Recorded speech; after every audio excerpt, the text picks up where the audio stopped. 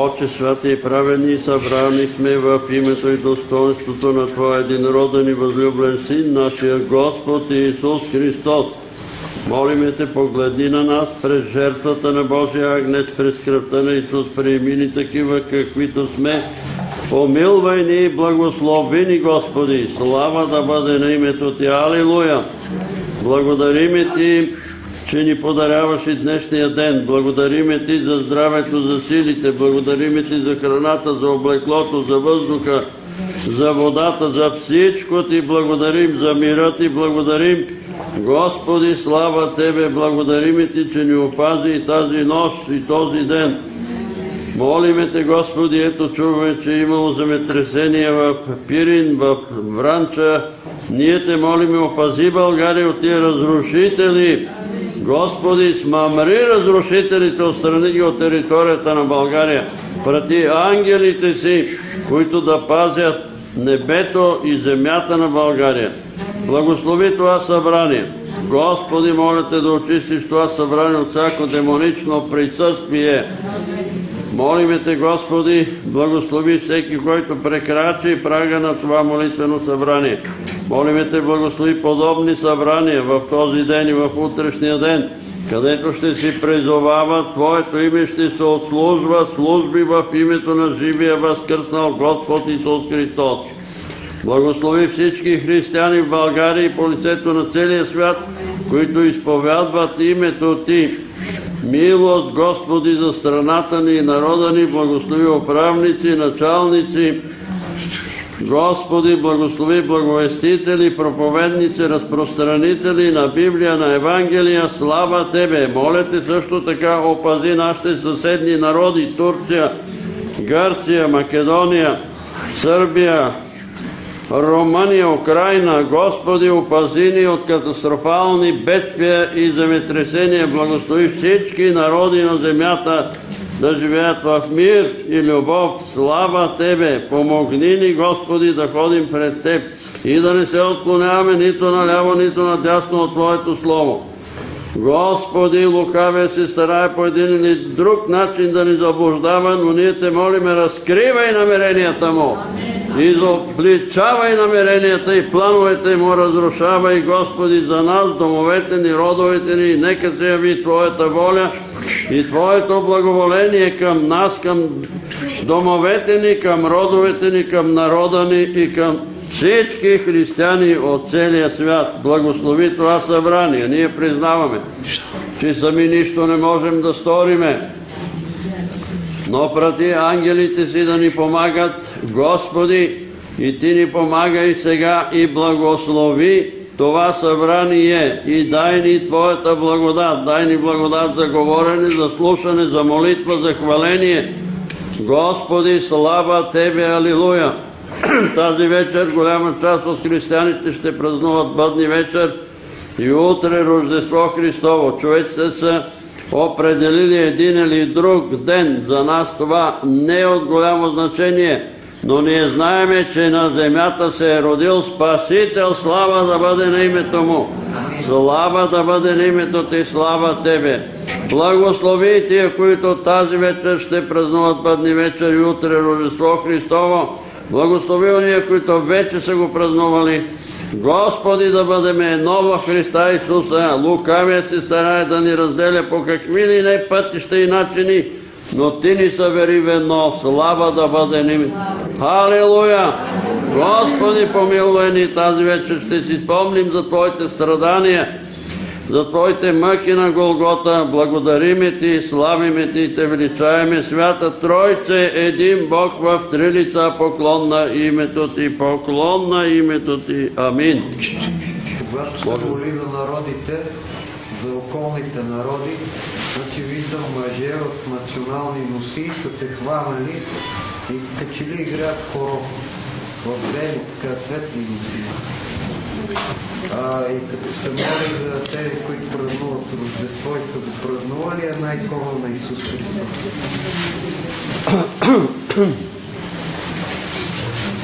Ние знаеме, че всеки народ, от Библията знаем, че всеки народ си има свой княз, ангел, знаете от книгата на Данаил, че когато Архангел Гавраил трябваше да дойде да говори с Данаил, пророк Данаил, княза на Персия му противостоя 21 ден.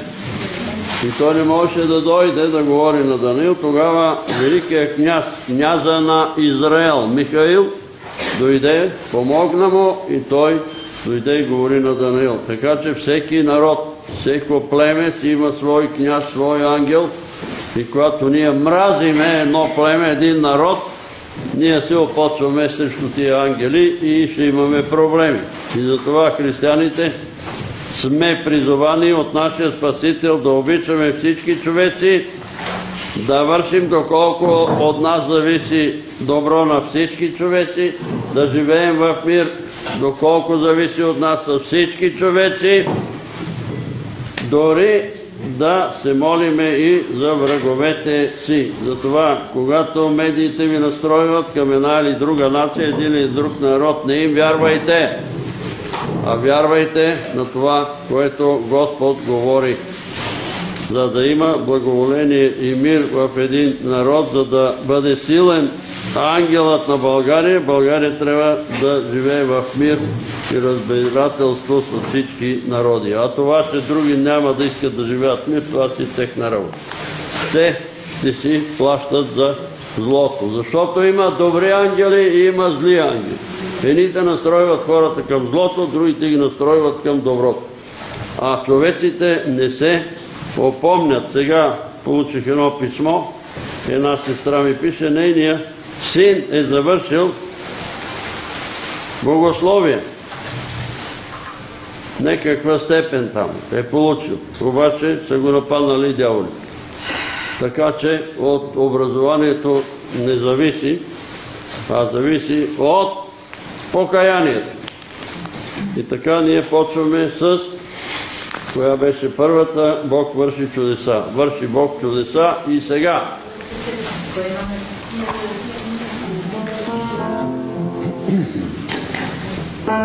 и сега, и сега,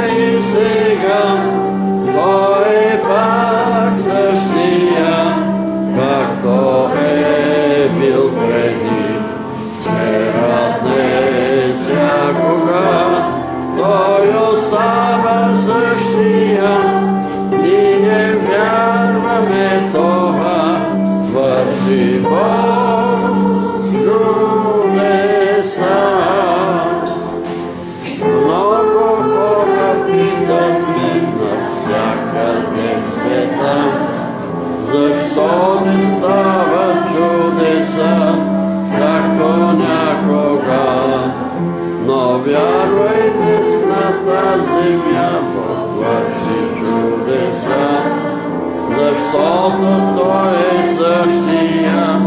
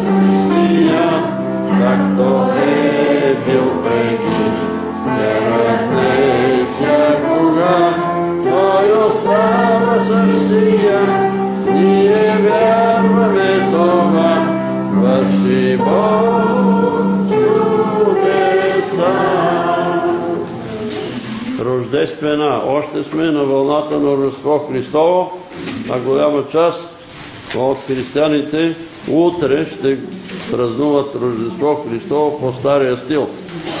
Знаете, че Христо Ботев е кръстен Христо, защото се е родил на 6 януари. Тогава е било Рождество и аз помня, когато Рождество беше на 6.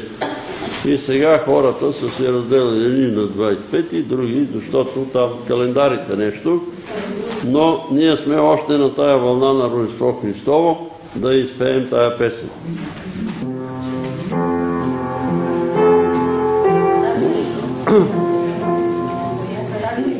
Същата, същата. Кари. Пълнят мощна стража в небето много звезди. Една се спуска, по-низко слиза и силно, силно блести. Миг пред овчарите застава пратеник от небеса. Радост неземна ги залива, от Бога е радостта. Ангелът Божи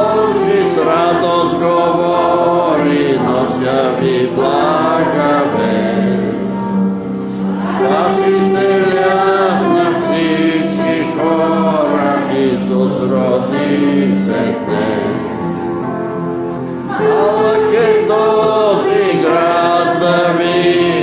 Малък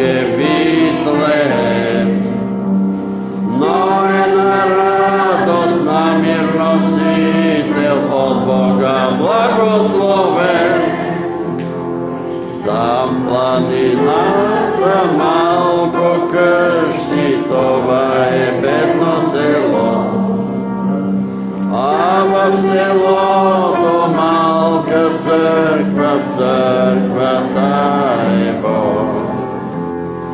Малко селото, църквата малка, малък е Витлеем. Има в душата радост неземна, всеки новороден. Майко, моли се Бог да направи църква и твоя дом. Всяка душа греха да остави и да напусне Содом. Който сърцето си днес отвори, той става Витлеем. Святия дух ще му проговори и все е благословен. Малък е този град Давидов, малък е Витлеем. Но е на радост на мир носител от Бога благословен.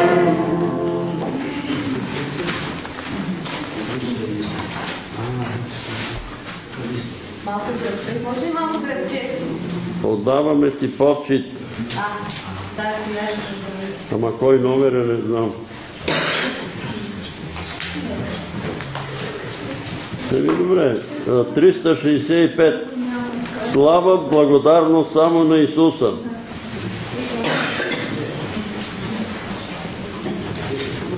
Триста шестдесет и пет.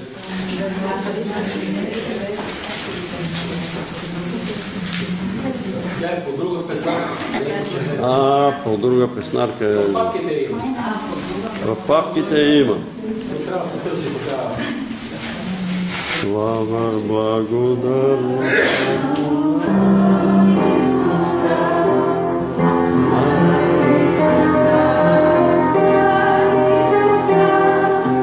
На Исуса, на Исуса,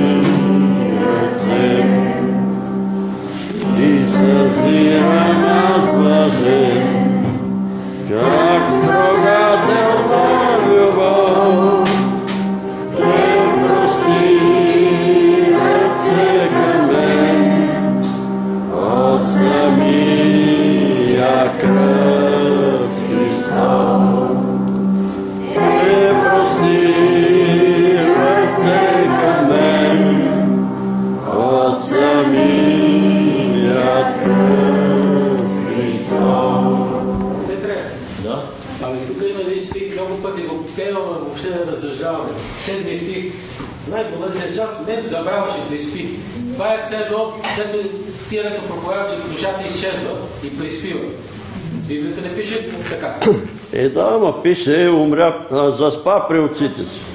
Ама в забрава. Как Еми, забрава? не в забрава. Той ще в смисъл такъв, че няма да се мъчи, когато преминава от този свят. Такъв смисъл иска да каже автора. Че когато е в най-опасния час на преминаването, Господ ще му даде спокойно да заспи и така нататък да си премине. Сега е друго. Че в най-болезния час злия враг ще победи, което аз го приемам. Ема злия враг там нема... То, той го е победил злия враг на кръста. Злия враг е смъртта. А, да, това а, духа на смъртта. Но днес четах от това от Талмуда и на страница аз си го отбележах тук на страница 125-та, първия ред отдолу пише, че демона на смъртта се казва дума на еврейски. Дума. Така че като четете вестник дума, да знаете, че четете демона на смъртта. Да не се сърдат авторите, но евреите знаят, че дума значи ангел на смъртта. Обаче ангела на смъртта е победен. Нали? Ние знаем, че ангел на смъртта е сатанил, но думата сатанил е събирателно от много зли демони, бесове и така нататък. Това значи сатана. И затова, когато се чудите, на едно место в Библията Сатана е написан с главна буква, тогава е личността Сатана. Ангела Сатана. А когато е Сатана с малка буква, това означава всички зли сили, които съществуват. Те се събирателно и означават Сатана. Всичко, което е зло. Но казвам ви това, ето пиша ви, казвам ви, запишете си уния, които не верват, страница 125, ред първи отдолу. Ангел на смъртта се казва в еврейския език дума. На български дума значи дума, слово. Ама на еврейски значи дявол. Баща на лъжата. Добре, сега по-малко ще пеем, защото имаме повече работа днеска, нали знаете? И ние стигнахме до коя беше? Осма глава. Когато сне седмия печат, настана тишина на небето около половин час и видях седемте ангели, които стояха пред Бога и дадоха им се седем тръби. Тогава дойде друг ангел с златна кадилница и заставан пред жертвеника и му се даде много тамян. Та с молитвите на всички свети Та с молитвите на всички свети да го тури на златния жертвеник, що беше пред престола. Димът от тамяна с молитвите на светиите се издигна от ръката на ангела пред Бога. Ангелът взе кадилницата, напълни с огън от жертвеника и я хвърли на земята. Тогава се появиха гласове, гърмотевици, светкавици и трус. И седемте ангели, които държаха седемте търби, се приготвиха да затърпят. Първият ангел затърби и се появи град и огън, смесен с кръв, и паднаха на земята. И третата част от дърветата изгоряха и всичката зелена трева изгоря. Затърби вторият ангел и като че голяма планина, пламна в огън, се срина в морето и третата част от морето стана на кръв. И умра третата, част от морските твари, които имаха душа. И третата част от корабите загина. Затръби третият ангел и от небето падна голяма звезда, която като светило и падна върху, горяща като светило и падна върху третата част на реките и върху водните извори. И името на тая звезда е Пелин. И третата част от водите стана на Пелин. И много човеци умраха от водите, понеже се бяха вгорчили. Затърви четвъртият ангел и биде ударена третата част от слънцето, третата част от месечината, третата част от звездите, за да потъмнеят третата им част. Та третата част от деня, както и на нощта, да не свети. И видях и чух един ангел да хвърка посред небето и да вика с висок глас. Горко, горко, горко на живеещите на земята от останалите тръвни гласове на тримата ангели, които ще затървят. Амин. Разбира се, тук ние ще поговорим за тия ангели. Искам да ви кажа, че може да седнете в еврейската религия има отделна наука, която се нарича ангело, ангелология. Ангелология. И се занимава специално с ангели. Но Библията на много места говори за ангели. Около 220 места в Библията се говори за ангели, които помагат на човеците, които са изпратени, за да предупреждават. Вие знаете, че а, Архангел Гавраил или при евреите Габриел отиде при девицата Мариам, за да й каже, че тя ще зачени от Святия Дух, ще роди син. Ангел от Господа говори на Йосип да не се страхува да вземе Мария за жена, защото заченатото е от Святия Дух. После отново му говори да вземе детето и да бяга в Египет, защото Ирод ще го търси да го убие. После пак му говори да се върне от Египет, защото той, който търси душата на детето, умря.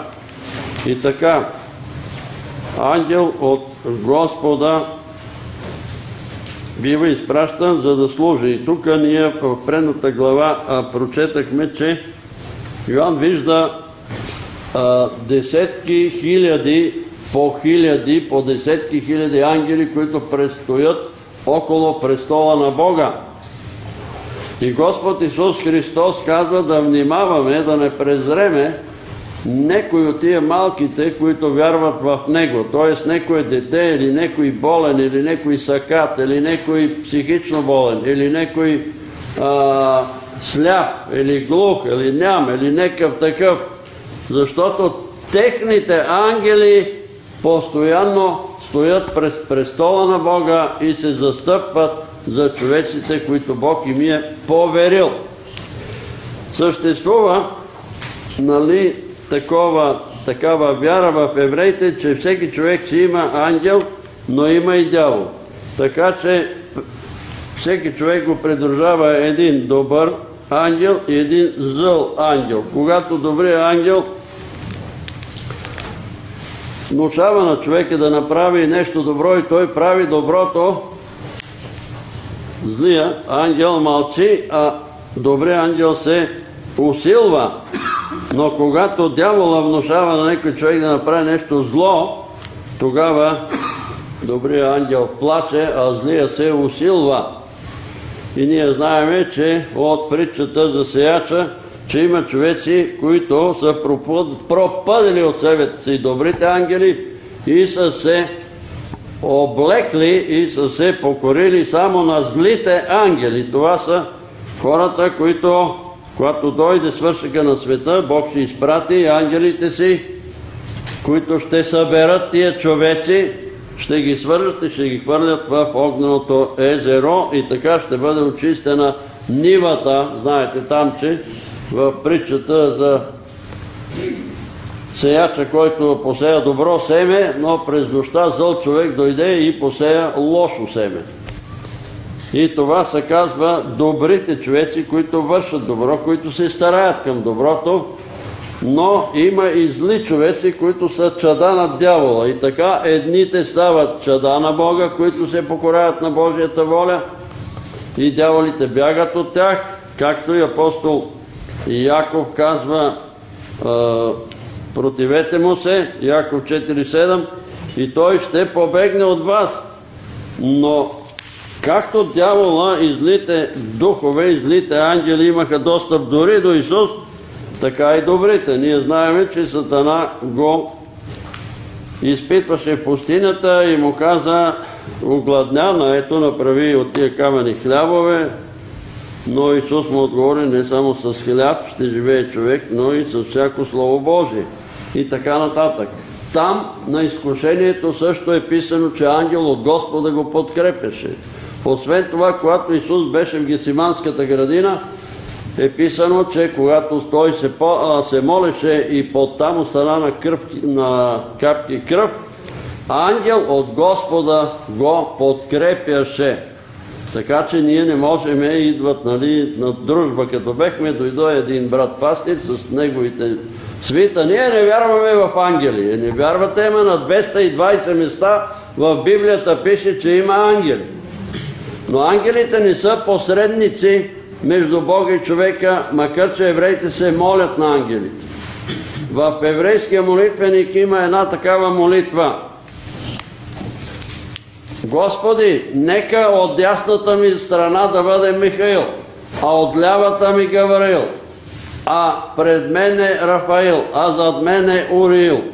Това са четирите ангели, които стоят пред Бога, ама те стоят Единия стои от дясната страна на Бог Отец, други от лявата, други отпред, другия и най-вече и над мене да бъде Твоето Боже присъствие. И така вечерно време, преди да легнат, евреите се молят с тая молитва. Когато се опитаха нали, апостол Йоанн да се поклони на ангела, ние знаеме в 10 глава Деяния на апостолите какво се случи с Корнилий един ангел от Господа застана пред него и му каза, Корнилия, твоите молитви милостини възлезоха за спомен пред Бога. И той какво направи? Падна и му се поклони, но той го вдигна и каза, стани, поклони се на Бога. Така че ангелите не изискват поклонение. Изискват, ние трябва да се молиме само на Бога, а ангелите са пратени като съслужители. Апостол Павел пише, че когато нали, разказва там за пътуването си, когато кораба щеше да се разбие и той каза, ангел от Господа, на комуто служа, ми каза тая нощ, нали, че ще има корабокрушение, но никой от вас няма да загине, ако това и това направи. Така че не е грях да виждаме ангели или пък ангелите да ни помагат. Така в Библията се говори за Гавраил, за Махил, за а, Рафаил, Уриил.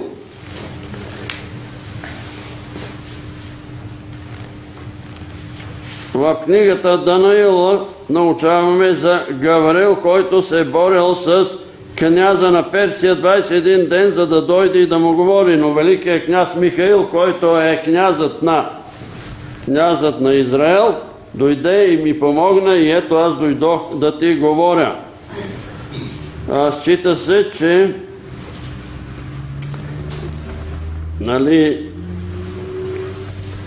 Арафаил е ангел на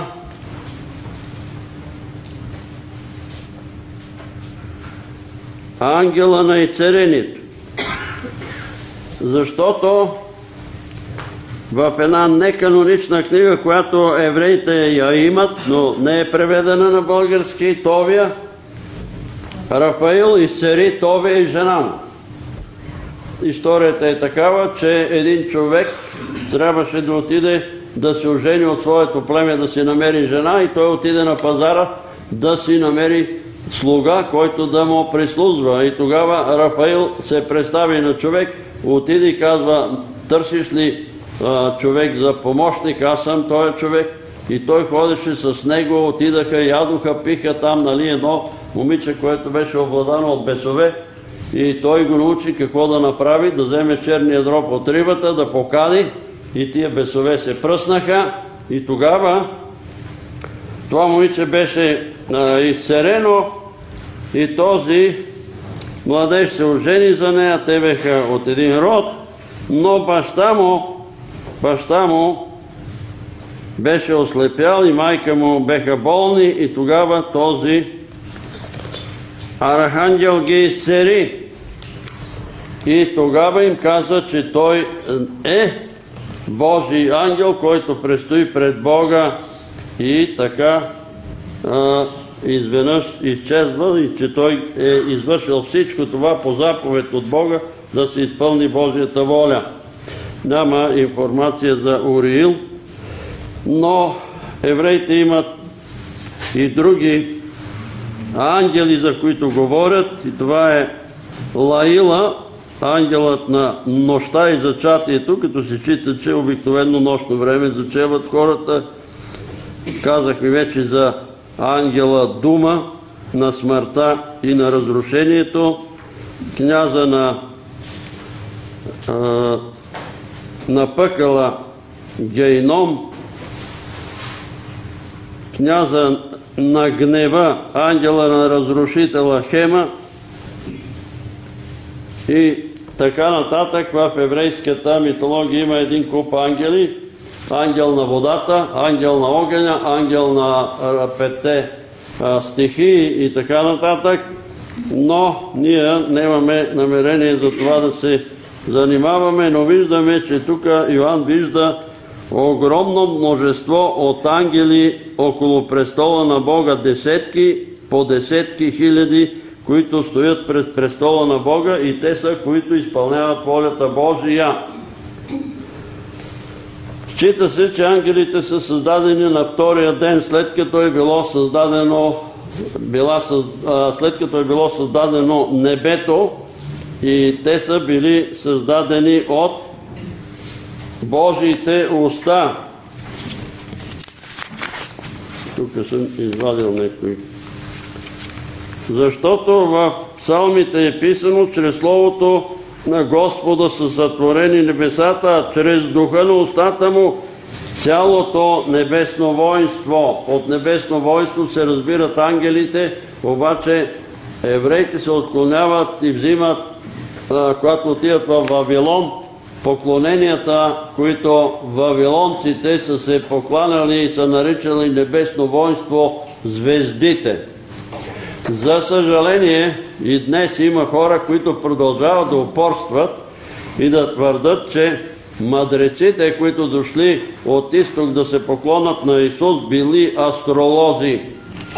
За съжаление, казвам, една сестра е в а, старчески дом, пратила ми е много здраве и там са се препирали с тая сестра, която е посветила и тя е останала с това убеждение, защото аз съм го слушал това, тая лъжа от амвона на Бачо Киров, на 50-та църква, че тия човеци са астролози.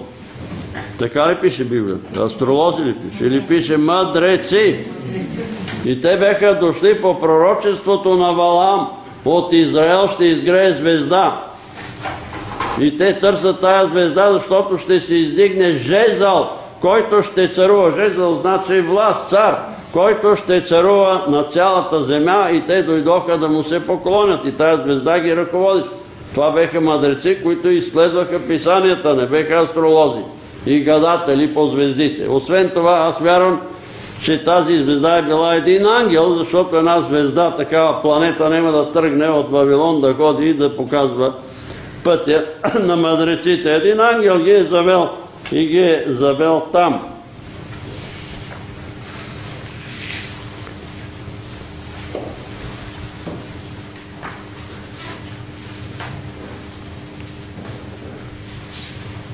Според еврейската религия, Вселената се обитава от два вида обитатели. Елоними, това ония горе, преведено на български ония горе, и тахноними, онези долу, или човеци.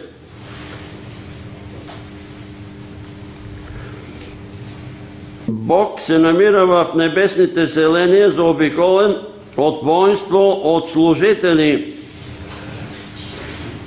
и това ние намираме и в Библията. Михей отговори, не е тъй. Слушай Словото Господне. Видя Господ да седи на своя престол и цялото небесно воинство стоеше при него отдясно и отляво. Кое беше това небесно воинство? Ангели, архангели, серафими и херовими. В годините, когато умря цар Озия, аз видях Господа седнал на престола висок издигнат, а полите на одеждите му пълнеха храма. Около него стояха серафими, всяко от тях имаше по шест крила, с две всеки закриваше лицето си, с две закриваше нозете си и с две летеше. Исаия 6, глава, първи и втори стих. Видах най-сетне и бидоха, че бидоха поставени престоли и седна стария под дни, с главна буква. Облеклото му беше като сняг, а космите на главата му като чиста вълна. Престолът му като огнен пламък, колената му като пламтящ огън. Огнена река излизаше и минаваше пред него. Хиляди, хиляди му служеха и десетки хиляди по хиляди, по десетки хиляди престояха пред него. Съди седнаха и книги се разтвориха, Даниил 7 глава 9 и 10 стих. И така, ние вярваме, че има, освен човеци в тая вселена, има и ангели, но има и зли сили. Човеците сега се опитват да влезнат във връзка с тия сили, но те обикновено влизат в, с злите сили. И тия, които влизат в злите сили, писанието ги нарича бесовъпрошатели. Мъртво въпрошатели. Те се заблуждават, че влизат във връзка с починалите човеци. А вие знаете, нали, в Второзаконие, 18 глава от 10 стих надолу, какво казва писанието? Че такива, които извикват мъртъвци, които говорят с мъртви, които са бесова прошатели, са гносни пред лицето на Бога и съветва нас, вярващите, не ходете при тях и не се осквернявайте. Не се осквернявайте. Казах ви, че една жена ми е писала сега, нали, че нейният син е завършил богословие, но е обладан. В момента е обладан. За да, независимо от това, че е завършил богословие, явно той, за да бъде обладан, или е викал духове, или участвал в спиритичен сеанс, или нещо се занимавал с извънземни, за да може да бъде обладан. Ето, това е оскверняването, когато човек отиде на брачка, гледачка, при ванга, на гроба на ванга и други такива, и после се чуди, че му тропа, че го гази нещо, че го мачка и така нататък. Но ние сме свидетели на тия сили, че атакуват човека, и може би тук една сестра разказа един случай, че е усетил, че някой е докосвал, след това е сграбчил и тя е трябвало да вика кръвта на Исус и той тогава в името на Исус да се маха и той се маха. Това са паднали ангели, които са съборени. Чита се, че ангелите са със свободна воля. Ако не беха със свободна воля, те нямаше да паднат. Нали? Защото ние човек също искаме свободна воля. Ако те имаха само Божията воля, немаше да има паднали ангели, които да бъдат съборени. И затова Бог намира недостатъци в ангелите си, така е писано в псалмите, така моли в нас човеците. Но от нас иска да бъдем съвършени. И така, тези ангели един след друг ги вижда апостол Йоанн, че служат в небето. Че служат в небето. И това, което става тук на земята, има храм горе, има скиния на небесата. И затова много евангелски християни изпадат в заблуда, като казват кадилницата, това е езическо. Не е езическо. Ето вижте какво пише тук. Ангела взема една каделница и служи в нея тамян, и служи огън. И какво направи? и я хвърли на земята. И какво стана? Гласове, гърмотевици, трус. Ние имаме откровение, че има опасност от голям трус, от голямо земетресение. И постоянно стават земетресения. И ние искаме да няма този трус. И ние се молиме, Господи, опази България от катастрофално земетресение. Обаче такъв трус ще има и то голям трус, който ще разцепи хълма Сион на две. Ще стане земетресение в Иерусалим. Ще разцепи хълма на две.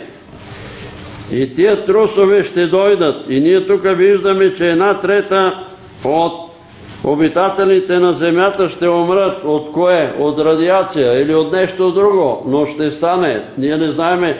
Това ще се изпълни. Искаме, не искаме, то е записано. Рано или късно ще стане. И сега откриват китове на Северния полюс, пингвини на Южния полюс, заразени от радиацията, която стана в Чернобил и сега която стана в Япония. И може да стане на още едно место. И ние се натягаме тук българите да правим атомна централа, тъй нас да не гръмне и да ни изтреби. Ще стане. И една трета от обитателите на водата ще загинат. И много хора загинаха, защото не послушаха, че не трябва да пият от тая вода, която беше по времето на радиацията. И тук няма защо ние трябва да говорим истината и да изобличаваме, така казва Господ. Изобличавайте ония, които лъжат народа. Когато стана това радиацията в Чернобил, а по-надолу тук говори за една а, звезда, която ще падна и ще а, горчи водите. И тази звезда се нарича Перин, а на украински се нарича Чернобиле. Знаете ли това? Да. Че се нарича Чернобиле. Ето го, Пелина е паднал. И водите беха отровени. 5 милиона украинци са загинали от радиация. България не знаем колко, но раковата болница е пълна. С деца, когато ние говорихме от навона, не пийте от чешмите, а, няма значение. Има значение, защото на другара Живков са му донасали вода от Норвегия. За да пие от Норвегия така, ема и той си замина горкия, нали? Нема такъв дето да остане и 200 години да живее, па ще си отиде. Храни са им донасали от Испания да не бъдат. Но трябва да кажем и положителната страна на Добри Джуров, един комунист, който на своя глава е заповедал всички салати и зелен чуци да бъдат унищожени в казармите.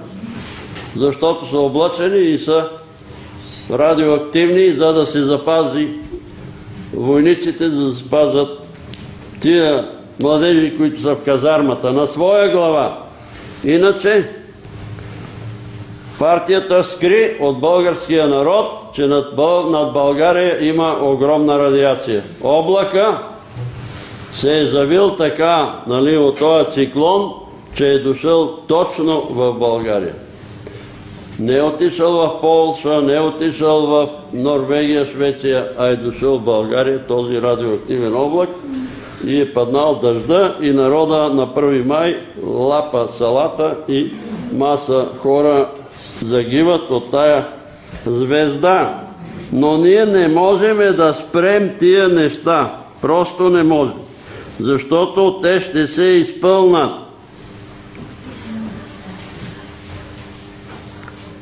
Знаете какво става. Ние не знаеме какво става в океаните, но това, че китове и риби и така нататък, аз ви казах, че имах едно откровение, аз утре престани да ядеш риба и много хора ми се изсмяха, включително и моята мила сестра, казва, а, Чирков казва, че трябва да ядеме всеки ден риба, защото япон, а, тези японците ядат много риба и затова не страдат от високо кръвно налягане, от хипертония и така нататък. Но по-късно се оказа, че сега в рибите откриват някои неща, които не знаеме защо са в костите им, радиация, защото, моля, Тежки метали. тежки метали. Защото в океана великите сили си правиха експерименти и взривяваха атомни бомби. Без да си дават сметка какво правят.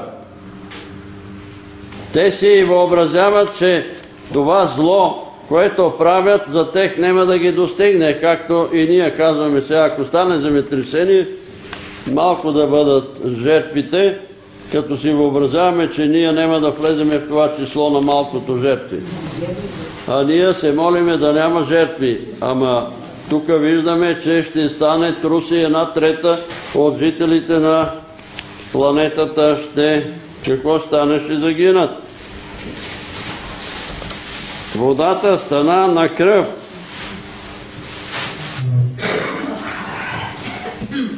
Защото не знам какво означава водата стана на кръв, но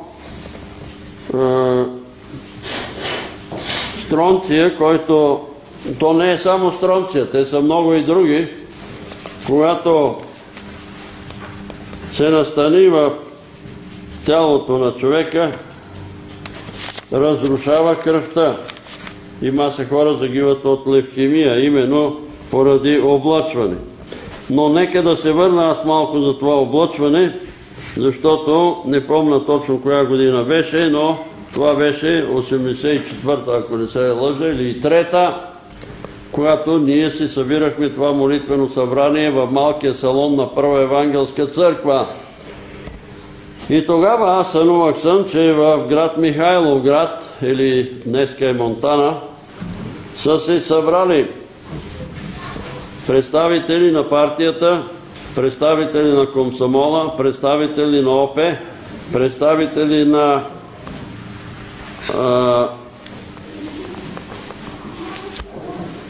запасните офицери от армията и милицията тогава и са решили християнството в България да бъде унищожено. Като активните християни ще бъдат изтребени с лъчево оръжие, ще ги хранат с изотопи, ще ги облъчват. И тогава ми беше казано, кажи от Амвона, спрете, защото ще натрупам радиацията на главите ви и на главите на вашето потомство. И на следващата нощ сънувах, че четирима души, които са присъствали на нашето събрание, напуснаха събранието ни и отидаха в някакъв клуб, който е точно срещу НДК. Аз отидах на други ден да видя на Яве какъв е този клуб и там пишеше клуб на офицерите от запаса от армията и полицията. Ние сме имали такива представители, които са присъствали на нашите събрания. Вие знаете какво се случи след това. Тия събития ще се изпълнат според това човеците как стоят пред Бога. Ако човеците се покаят, ако народите се покаят, ако живеят в мир, тия събития ще се отдалечат. Но ако човеците се покварят, както сега върват нещата и се покварват, тия събития ще се доближат. Но казва горко на ония човеци, които правят да се доближи дена на Божия гняв. Правят. Как правят? С греховете си, с беззаконията, с желанието да се поквари света. Сега, имам такъв обичай, нали, когато е нова година, да пусна нали, канал, китайски канал, да видя там как празнуват. След това руски канал, защото идва нова година в Русия. След това Ами преди една-две години то беше красота да ги гледаш и китайци и руснаци. Сега едните, другите само рок. Кълчат се там, облекли ги в казашки униформи, красиви, хубави и се кълчат. Това ли са казаци? Всичко се е покварило. И китайци, и руснаци, и всичко върви на там. Милиарди се хвърлят, за да може човечеството да бъде покварено. Нали, вчера ли идвахте вие, или онзи ден идвахте, с Любо и това момче, иска да участват в хвалението и в това хваление се промъква рок музиката. Нема защо да криеме. Думата рок н рол значи псовня на некакъв език там африкански. Псовняна майка. И това се рекламира по медиите. И какво става? Влиза в църквите. Влиза в църквите. И той младеж казва, ама кой е бил в небето там диригент? Ами кой е бил? Сатанаил е бил диригент. Знаете ли го това? Че той е ръководил хваление. Той Бог го е изхвърлил. Защо го е изхвърлил? Еми за тия рок музики. И сега ги вкарва в църквата, ги вкарва тия рок музики. Разберете го това. Хвалението трябва да бъде от сърце с благоговение пред Бога. Не, аз съжалявам, трябва да го кажа, нали? Бех там в една евангелска църква, Господ да ги помилва, ами стари жени, стари възрастни, играят кючек там и се кълчат. И, и пред Бога ли стоите? Вие ако Исус е преда, така и се кълчите. Срамно е, срамота е. Младеща на там върви. Покварата е повсеместна. И тия неща ще се изпълнат. Но оня, който стои с благоговение пред Бога, нали, някои считат, че този, който записваше в Иерусалим, уния, които скърбеха за това, че Израел пропада нали, и живее в грях, пропада, е Архангел Гавраил с бялата ленена дреха и с мастилница на пояса и записваше, слагаше печат на челата на уния, които се притесняваха за това, което става в Иерусалим. Които страдаха за това, че този народ пропада. А които се радват, естествено, след това имаше шест ангели отстрани, които им заповяда. Започвайте от Божия дом, от старейшини. И изтребвайте всички, които немат този печат. Сега, ние може да си кажем, печата е новорождението или кръщението, или кръщение свята и така нататък, но е важно и в какво състояние ще не намерят тия събития, които ще се изпълнят. И горко на земята, на живеещите на земята, три пъти горко за това, което има да става на тая земя. Следващият ангел, който след Чернобил, трябва да се появят нали, некакви проблеми на Слънцето, Луната и на част от звездите. Има опасност една звезда да падне на Земята или една, метеорит или метеор. Може някой да си спомнят, аз съм го казвал това тук, молили сме се, че към Земята лети един метеор, грамаден метеор, който ще удари град София. И ние се молихме тук и след известно време дадаха снимки по телевизията, как този метеор. Необяснимо, необяснимо за никакви закони, както върви в една посока, прави завой на 90 градуса и се отклонава и отива надалеч в Вселената. Сега казват там, че американците били вземали мерки, ако този метеорит достигне до Земята с ракети, с атомни бомби да го взриват. Ама дали ще успеят? Дали ракетите им няма да гърмнат преди да стигнат метеорит? И такава звезда ще удари морето. И какво ще случи? Една трета от жителите, от живеещите обитателите на морето ще загине. А вие може да си представите какво ще се случи, ако, ще се случи, ако една трета от морските твари, които имат душа, тук ме питаха имат ли рибите и животните душа, ето тук пише, че имат душа. Ще загине. Какво ще се случи тогава? И така затърби четвъртият ангел, а преди това има друга тръба, която ще запали дърветата и всички и всичката зелена трева ще изгори. Това ще се изпълни това, което баба Павлина от Пилиповци беше писала писмо на патриарх Максим. Призовете българския народ към покаяние.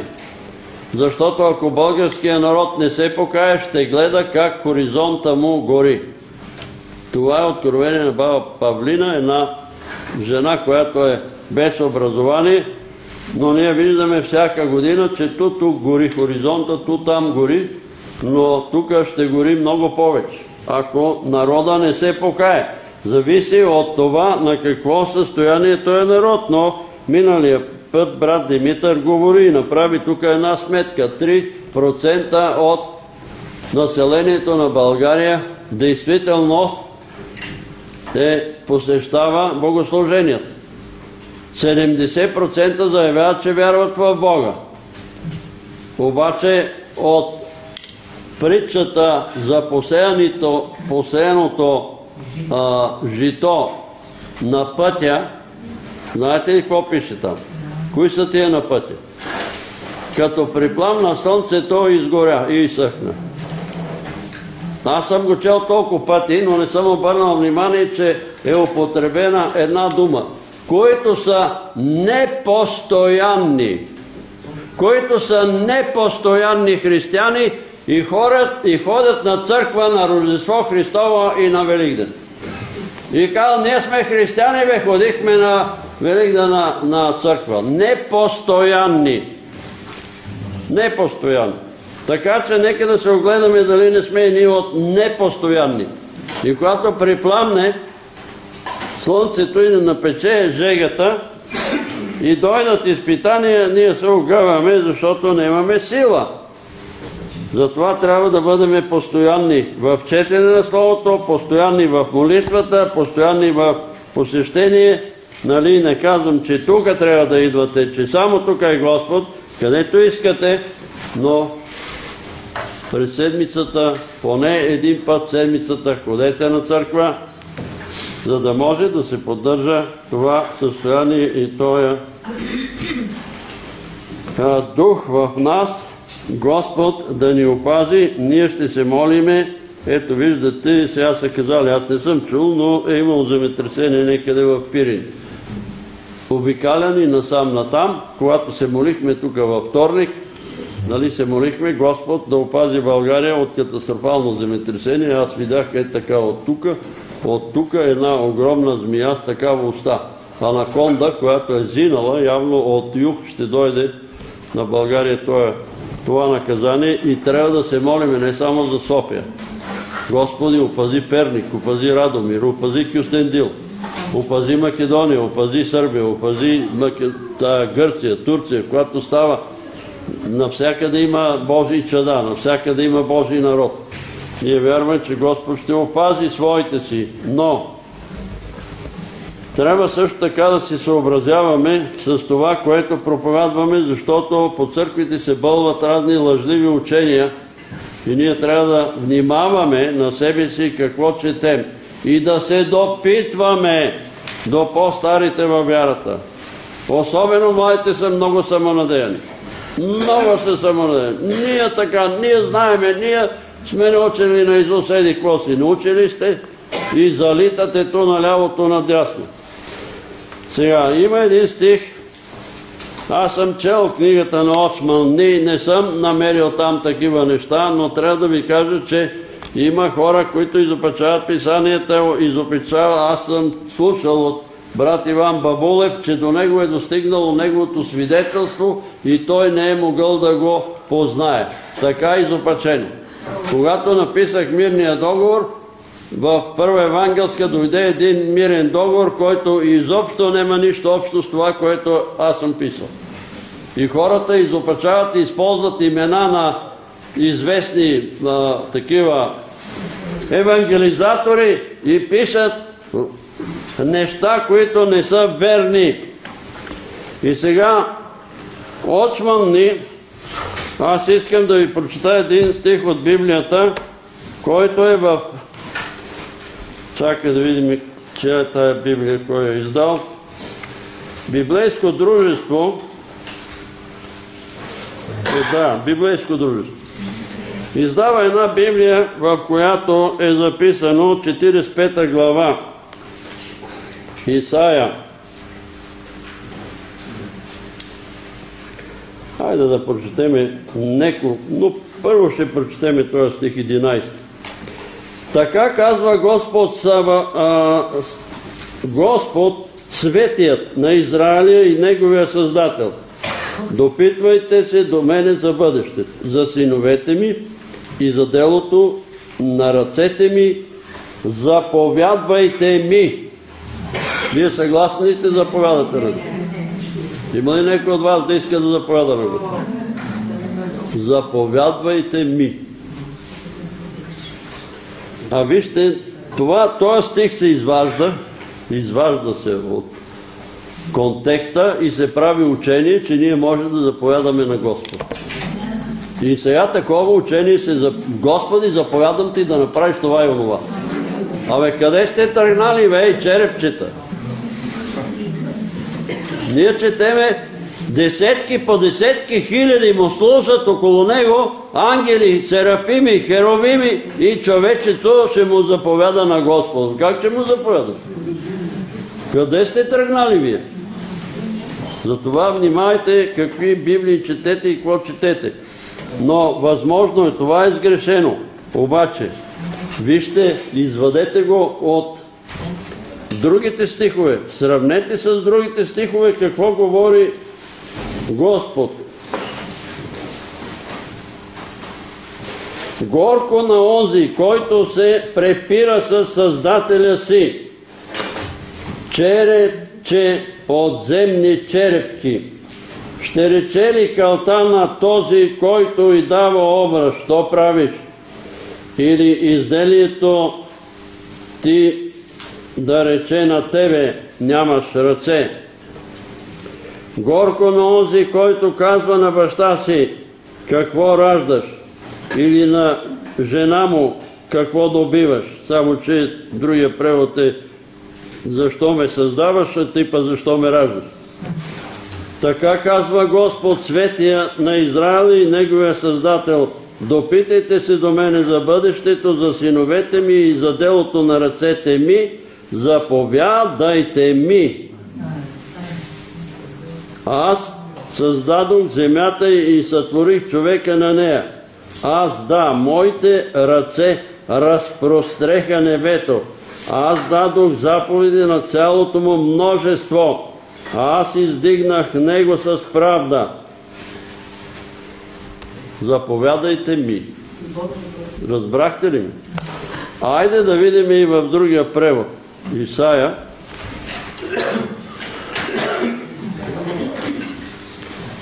Но най-важно е, че в този еврейски превод, който е написан, също казва заповядайте ми. Аз не го вервам. Как ще заповядате на Господ? Къде сте тръгнали вие? И от това нещо се вади учение. Прави се цяло учение. Ние може да заповядаме на Господ да направи това и онова. Къде сте тръгнали? Горко ономува, който казва на баща си, защо си ме на света произвел и на майка си, защо си ме родил. Тъй казва Господ, светият на Израиля и Негов Създател. Ще ме питате ли за бъдещето на синовете ми и ще искате ли да ми се месите в делото на ръцете ми? Има ли разум? Има разум. Макар, че в тази Библия също има греш. Но защо ви казвам това? Защото има разни Библии, разни тълкователи, разни тълкования, но ние трябва да следиме самият дух на Евангелие, самият дух на Библията, какво говори Господ. За какво говори? Защото евреите са се месили, ти не си прав. Бог не е прав. Какво не е прав?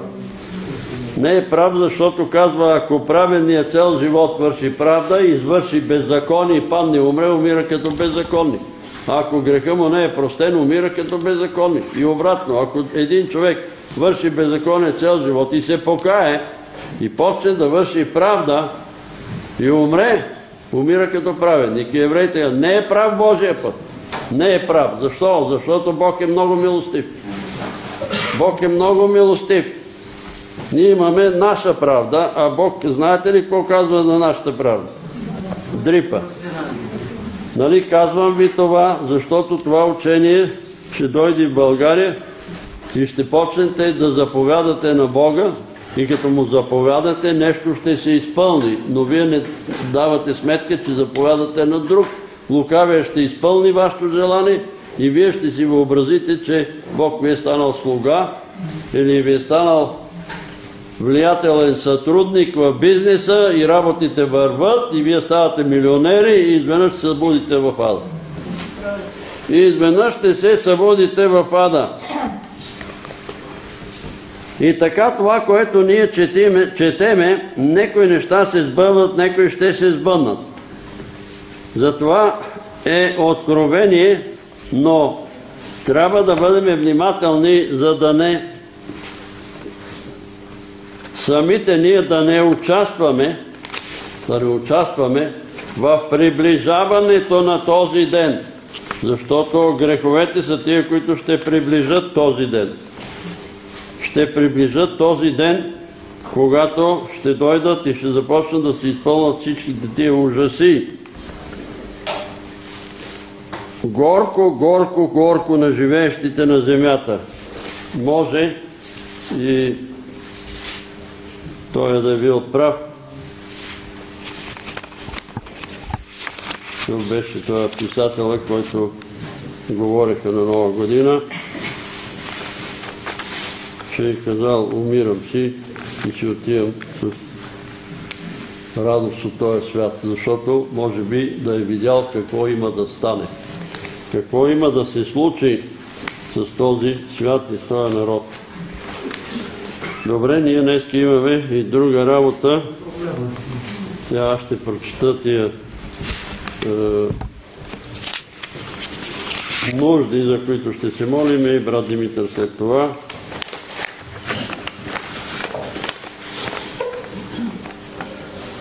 Моля да ни подкрепите молитва, така че думите на устата и размищената на сърцата ни и целият ни живот да бъдат угодни на Господа Бог да пази детето,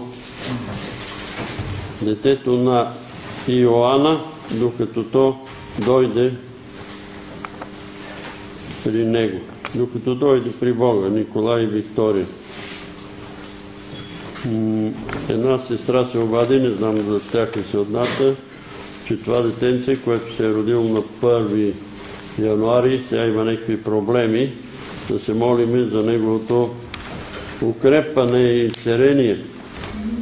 Всички имате много поздрави от Иванка и Ради от Гърция, които идваха тук. Тя беше с количката. Дали са и неко по-ефтино лекарство и от това лекарство тя се е влушила. И аз вчера гледах нещо по телевизията, че се заменили неко лекарство с по-ефтино и хората са почнали да се оплакват, че са се влушили. Това правят некои човеци, Господ да ги смири, да ги смъмре. Да бъдеш лекар, това е голямо призвание. И не си спомням Чехов какво беше казал за лекарите, че лекара трябва да бъде с чисто сърце и съвършенно чиста съвест за да може да помага на човек. Лекарът трябва да бъде с чисто сърце и да помага на човека, без да го пита кой какъв е, откъде си къп си.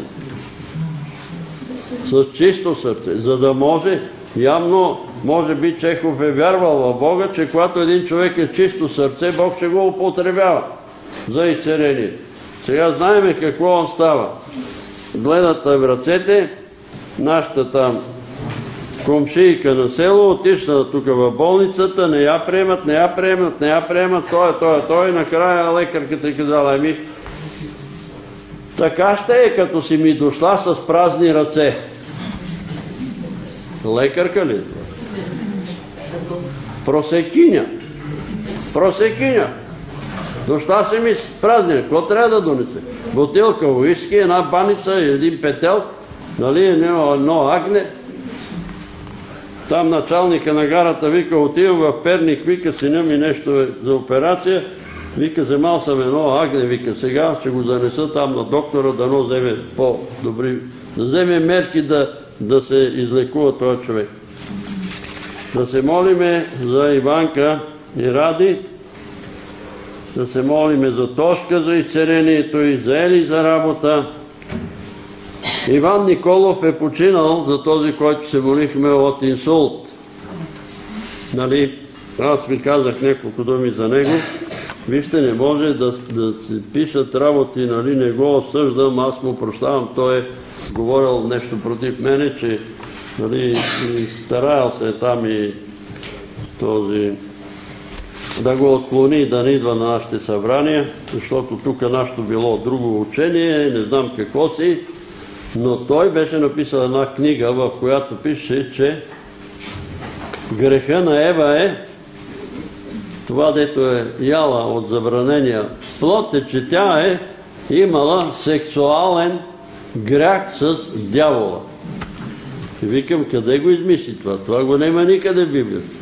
И ми дават тези книги аз да ги разпространявам, аз му казах, това аз не мога да го разпространявам. Това не мога да го разпространявам. Моля ти се, унищожи така. Махни го това нещо от книгата. Книгата се казва Божите синове, може да ви е попаднал. Не го вярвайте, това са проповядвали богомилите, което е отречена и прокълната ерес. Богомилите са проповядвали тая глупост. Има плод, който е като се яде от него, ето Панталей, тук ще ви каже, майка му е умирала, лекарите я чакат да умре. И тя вижда една ръка в бял ръкав, че и подава един червен плод. И тя започва да дъвче този червен плод. Дъвче, плод. И се събожда. Бъбреците беха спряли и казва, нали, трябва да отида до туалетната. И лекарите си пащат за главите, бъбреците оздравяват, тя става, излиза и не знам, 20 години ли живя след това. И когато я изписват и казват, за нас ти възкръсна. Има плодове, които са за ангели, има плодове, които са за изцерения, има плодове, не, не са такива, не ги тълкувайте превратно такива неща, защото е страшно да се изопачава Словото на живия Бог. Страшно. И ние имаше видение, какво беше видението за инсулта му, на главата му, плодове като череши. Да. Плодовете, от които е яла Ева, са като череши, а не е секс. Това иска да каже Святия Дух. Не може да се изопачава писание. Разберете го. Страшно е да се изопачават писания. Ние да си фантазираме това е с други работи може да си фантазирате. С а, мое мнение, с твое, с не знам какво, на някой писател и друго. Но това е Бог. Бог е казал и това е. Не може да се изопачава. Нали, Господ да се смири, каквото, нали, ако е съгрешил срещу мен, от сърце му прощавам, Господи, и Ти му прости. Така, молиме се за Николай семейството, Никола и Русица, Румяна Михаил, Владимир,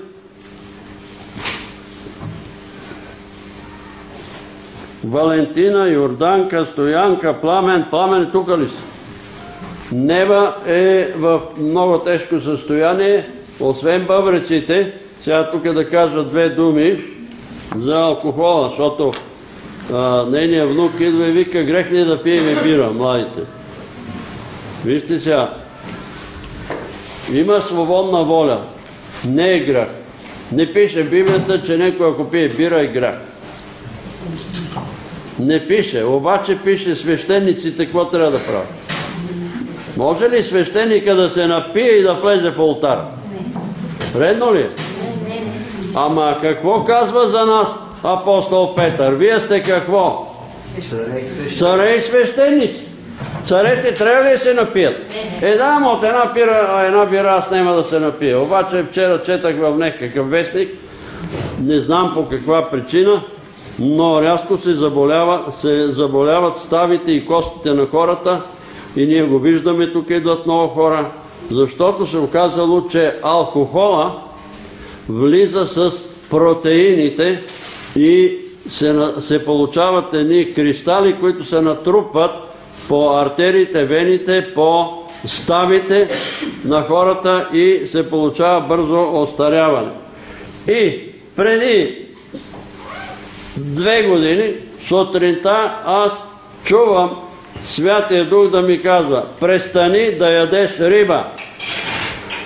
И се оказа, че в рибата, протеините от рибата влизат най-бързо в се получават тия кристали с бирата, с тези твърди алкохол и по-малко с виното.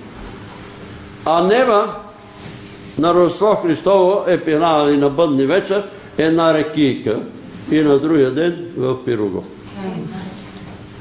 На нас не ни е дадено. Разберете. Разберете го. Бъбреците, удра бъбреците, тия кристали се натрупат в бъбреците, тия кристали се натрупат в ставите и когато и сега освен това, официално откриха някакви американски учени, че в костите на рибата, особено тая цацата, се яде заедно с костите.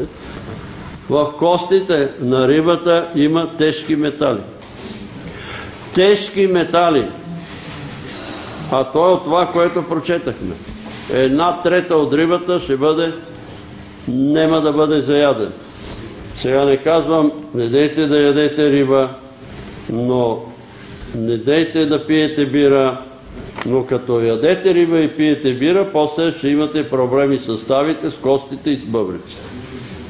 Ако искате да немате тия проблеми, яще, както брат Димитър яде какво? Зеленчуци и плодове. И няма проблеми. Ето, на колко години? 80 и колко стана? След 3 месеца 88 почва. 88 почва. 88. И за това не е за Хри... Сега, ама нали, брат Петре, ама нали там е писано до това, до Тимотей. Пи малко вино, пи малко вино, не само вода, поради честите ти стомашни заболявания.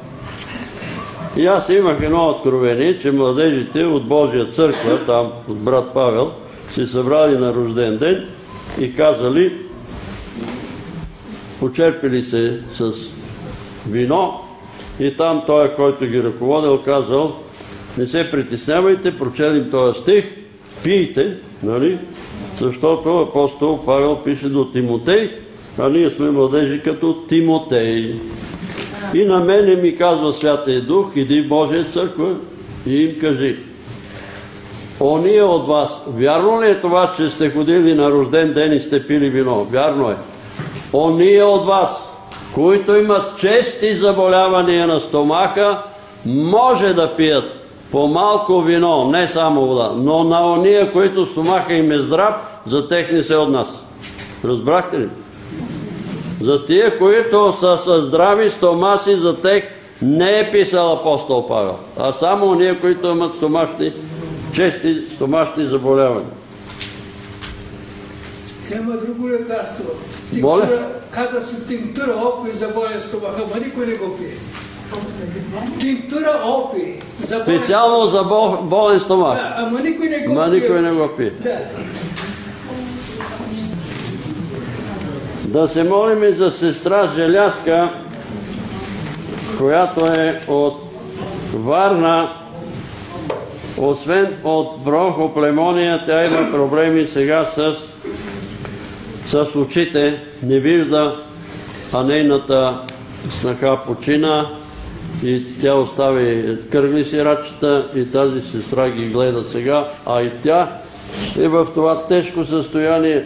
Господ да се смири, но тя едва тук, е, тук седеше, ако си спомняте, една пълна жена, свидетелства за много чудеса, които Бог е извършил в живота й. Но явно, че има наследствена обремененост, да се молиме Господ да я води към спасение. Молиме, да се молиме за а, Марин от Варна, който е с рак на костите, страхотни рани в краката. Когато ние се молиме, той се подобри. Когато спрем да се молиме, се влушава. Ето тая сестра казва, че когато се молиме за нея и когато в молитвата казвам изцери кости и стави, сега болят ли те костите? Искам да свидетелствам, че съм добре. Слава на Бога! Една седмица вече не те болят. Още по времето на Рождество Христово, когато бяхме тук ще Да. И пяхме песнички. Вие малко по-късно дойдохте, но ние пяхме една песничка да бъде волята Твоя. Твоя. Аз не знам номера на песничката, не знам думите, но само това чух да бъде Твоята воля. И през нощта, посред нощ, аз пея песничката, но беше само тетаника ми само казано да бъде Твоята воля. И ставам до гърна песнярката и почвам. Гледам на съдържанието да бъде Твоята воля, няма такова Няма. заглавие. И аз почвам на страничка по страничка, страничка по страничка и 225-та песничка да бъде Твоята воля. Ам, и аз почнах да я пея с тая мелодия, която я бех, а, я пяя, и я пях през нощта. Почвам Да. и много ми допадна. Обаче чувств, чувствам, че има нещо, което не, не е така.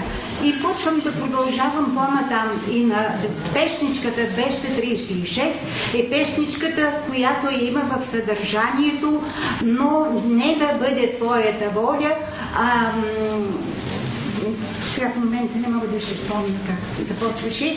А, Да и, бъде волята Твоя. а, и ми допаднаха и двете песнички и си ги пях. И починах и изобщо не чувствам никаква болка през дена. Почнах по празниците да си приготвям едно друго. Мен краката не бе болят. И викам, слава на Бога, слава на Бога.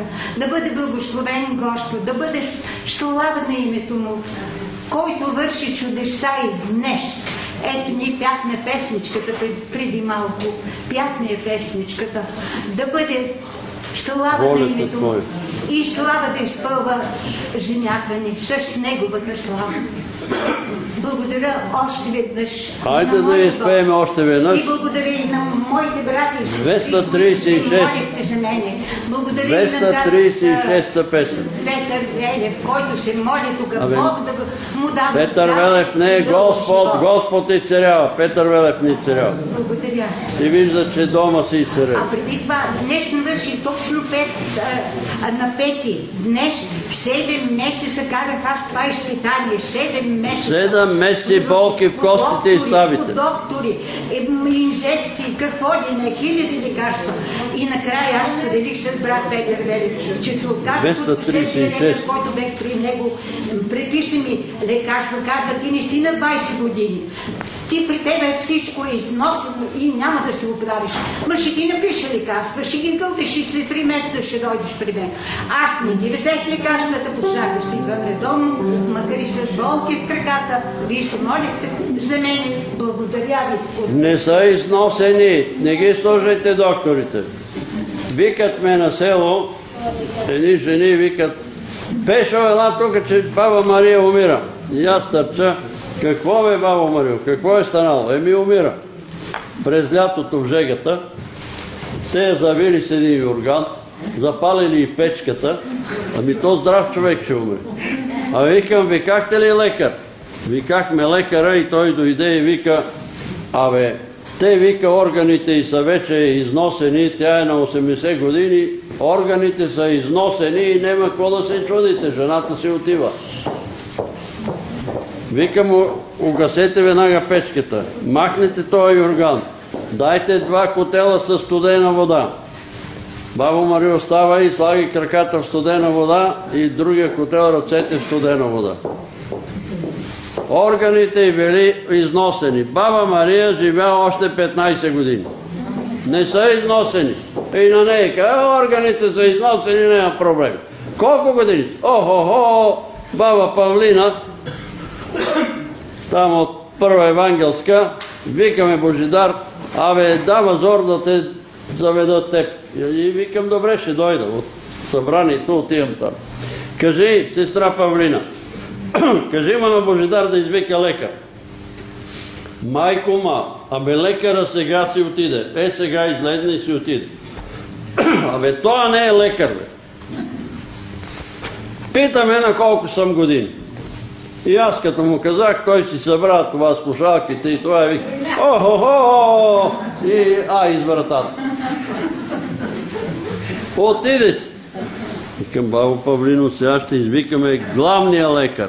Тия лекари са малки лекари. Обаче има един главен лекар. Ама, брат Петре, аз съм много възрастна. Той лекува и детенца, лекува и възраст. Лекува и възраст. Не знам, брат Димитър, дали помни, дойде след това в църквата в малкия салон, застана на средата и вика, ето ме, жива и здрава, Господ ме изцери. А знаете ли на колко години съм? 97 и 6 месеца. И пак Господ ме изцери. Няма износени при Бога. А при Бога има резервни части. Ако искате да знаете, има резервни части и може да ги поднови, да ги регенерира, да ги възстанови, както се регенерират гуми, така може да регенерира бъбреци, да регенерира черен дроб. Господ е мощен. И така, песента беше Износването идва от лош живот. 236. Износване може да има, но. Че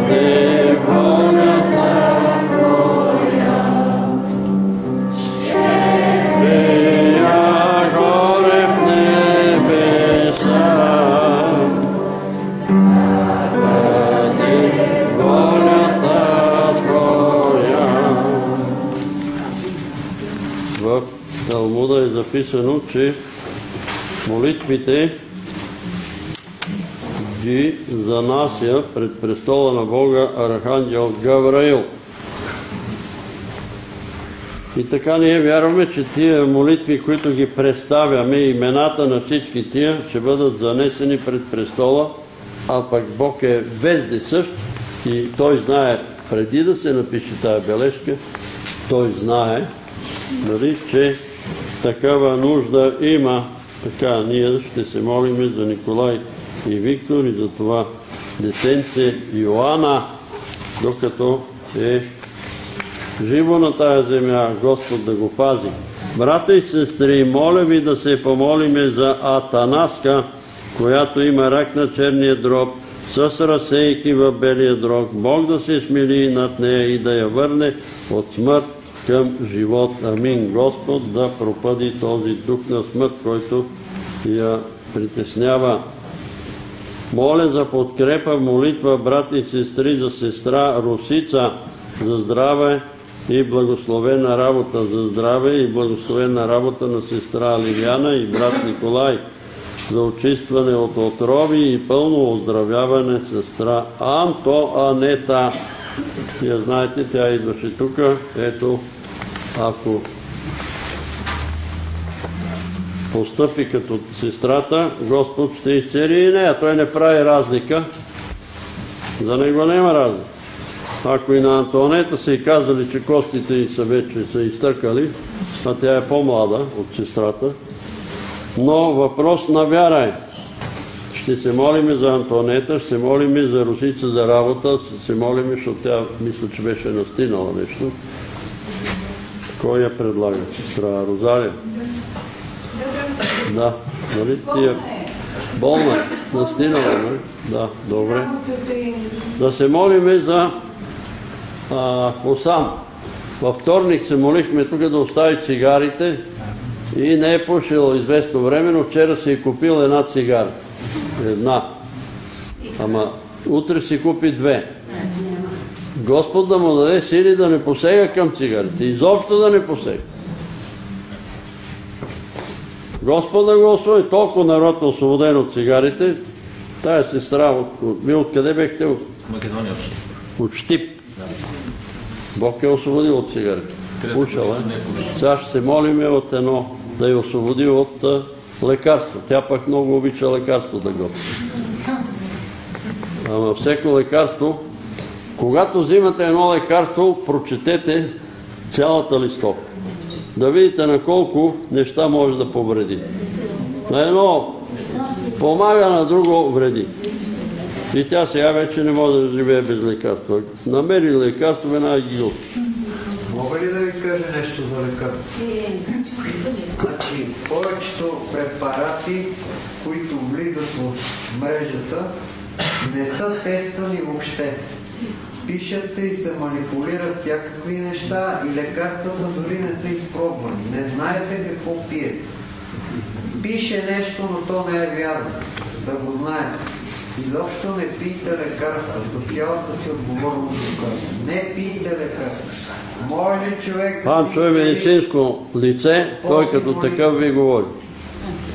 А, брат Петър, може ли само да допълня?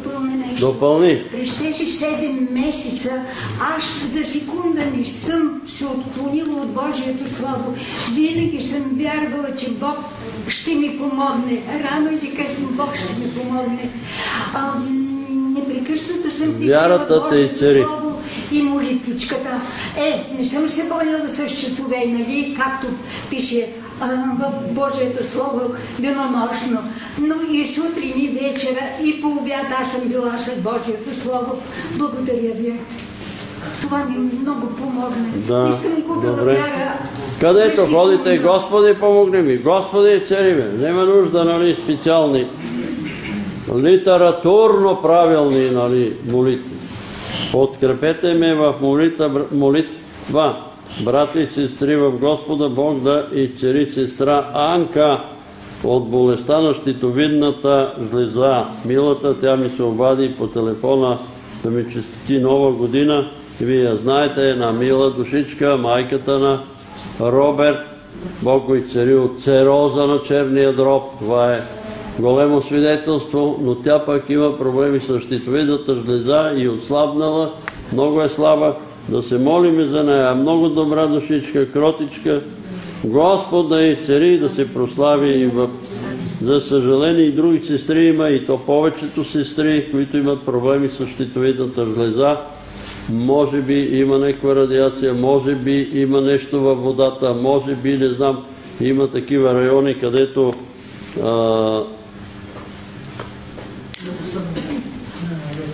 липсва йод, ако не се лъжа, и затова в тия райони им пращат сол, йодирана сол, да употребяват йодирана сол. Не знам, може би тия сестри пият вода, която само една, не пийте само една минерална вода. Сменявайте ги. Аз знам, че повечето хора пият минерална вода, обаче една и съща вода не я пийте, защото организъм е от различни елементи. Пийте една и друга и трета и четвърта, сменявайте ги, защото напоследък виждаме много сестри, проблеми с щитовидната, проблеми с щитовидната, проблеми. И то специално сестрите, не знам защо така се получи. Да се помолим за Никола и синът ми. Много пие ракия и се състарил, състарил в лицето. Вярвам, че Господ ще му даде сили да не посега към ракията. Ами дай Боже, Господ да го докосне, защото, сестро, Словото е категорично, пияниците няма да наследат небесното царство. Какво правят такива човеци, които всеки ден се напият? Разрушават Божия храм. Разрушават Божия храм. А който разруши Божия храм, него Господ ще разруши. Моля Господ Исус Христос да прояви милост към мен и да изцери очите ми. Амин. Свидетели сме, аз скоро слушах свидетелството на покойната Катя Савова за изцерението на очите й. И аз съм свидетел, когато и дадахме с брат Лазар Библията, тя е отворена посока и прочете там, не знам от коя книга на царете беше, историята с този сириец, който беше болен проказа и дойде при пророка и той му каза, иди се потопи седем пъти в реката Йордан. Той не искаше и там, нали, неговите слуги му казвам, господаря, ако беше ти казал да направиш нещо голямо, ти щеше да съгласиш. Иди се потопи в реката. Отиде, потопи се и всичко това с ръката го прочете. Без очила, без проблеми, а тя не виждаше, може би сестра Цветанка я помни как я доведе с бастуна, едвам ходеше, едвам се подпираше и така. За съжаление, когато отишла в църквата в Пловдив, те и се присмяли на свидетелство. Ами така беше и по времето на Исус. Така беше един изцерен, какъв беше там, слепо роден. Заведоха го при родители. Той ли е вашия син? Той е наш син. Сляп ли беше? Знаеме, че беше сляп, но кой го е церим, не знаем. Кой го е церил, не знаем. Кой те цери? Казах ви кой ме цери. Исус. Исус ме цери. Ние знаеме, че този човек е грешен и той не може да те цери. И той, те знаят. Те всичко знаят. Така и днес има хора, които всичко знаят. Те всичко знаят и знаят, че Исус не е царява слепо роден. Затова Бог да се смили на тая сестра, да повярва, че това, което Господ направи на сестра Катя, може да направи на нея. Доколко знам, 12 диоптера ли беха там, нещо голема работа, въобще не виждам. И изведнъж казва нещо се свлече тук от окото ми, светна нещо пред другото око, взима Библията и почва да чете без очила. Ама кой го направи? Божия дух, Святия дух. Нали? Евреите вярват, че това е Архангел Рафаил, който изцерява болни. Ние вярваме, че Святия Дух, защото Исус казва, ако чрез Святия Дух бесове изгонвам, дошло е до вас небесното царство. Чрез Святия Дух ставай царев. Не чрез мен, не чрез Петър, Иван, чрез брат Димитър, но па Бог употребява човечество. И когато, аз ви казвам се, когато ме помазва некой, който и да е, аз чувствам помазанието. Ама ако не ме помаже, това помазание не идва. Нали? И хора, които се мислят за много грешни, аз ги карам те да ме помазват. И когато ме помажат, аз чувствам това помазание върху мен. Това благословение. Защото думите има сила. Ама аз съм грешен, ама аз съм недостоен. А точно, що се мисли за недостоен, Бог чува молитвата. Ама ако идеш при Бога, Господи, аз съм достоен, аз ще служа, аз съм, е, щом си ти, айде, настрани. Тия, дето идват с претенции пред Бога, с претенции ще си заминат. Брата и сестри, нека да се помолиме за внучката ми, има проблем с здравето. Бог да я излекува и да я приведе в кошарата си. Също така и нейната майка и всичките ми близки. Амин, алилуя, ваша сестра. Господ да даде отвращение на Николай към цигарите и сам да пожелае да не пуши. Ма трябва да се молиме за него да даде сили Господ, защото сме свидетели, че Господ дава сили.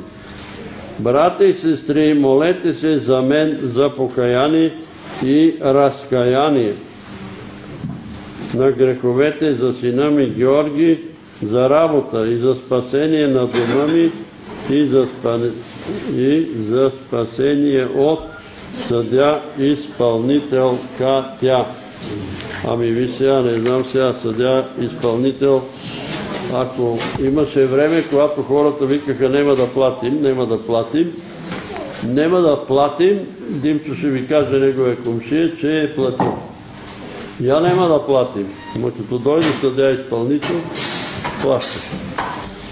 Затова, а имаше такова такива призиви, като дойдат СДС-то на власт, не плащайте, нищо не плащайте да се провали СДС. Дойдат комунистите, не плащайте да се провалят комунистите. И кого проваляме?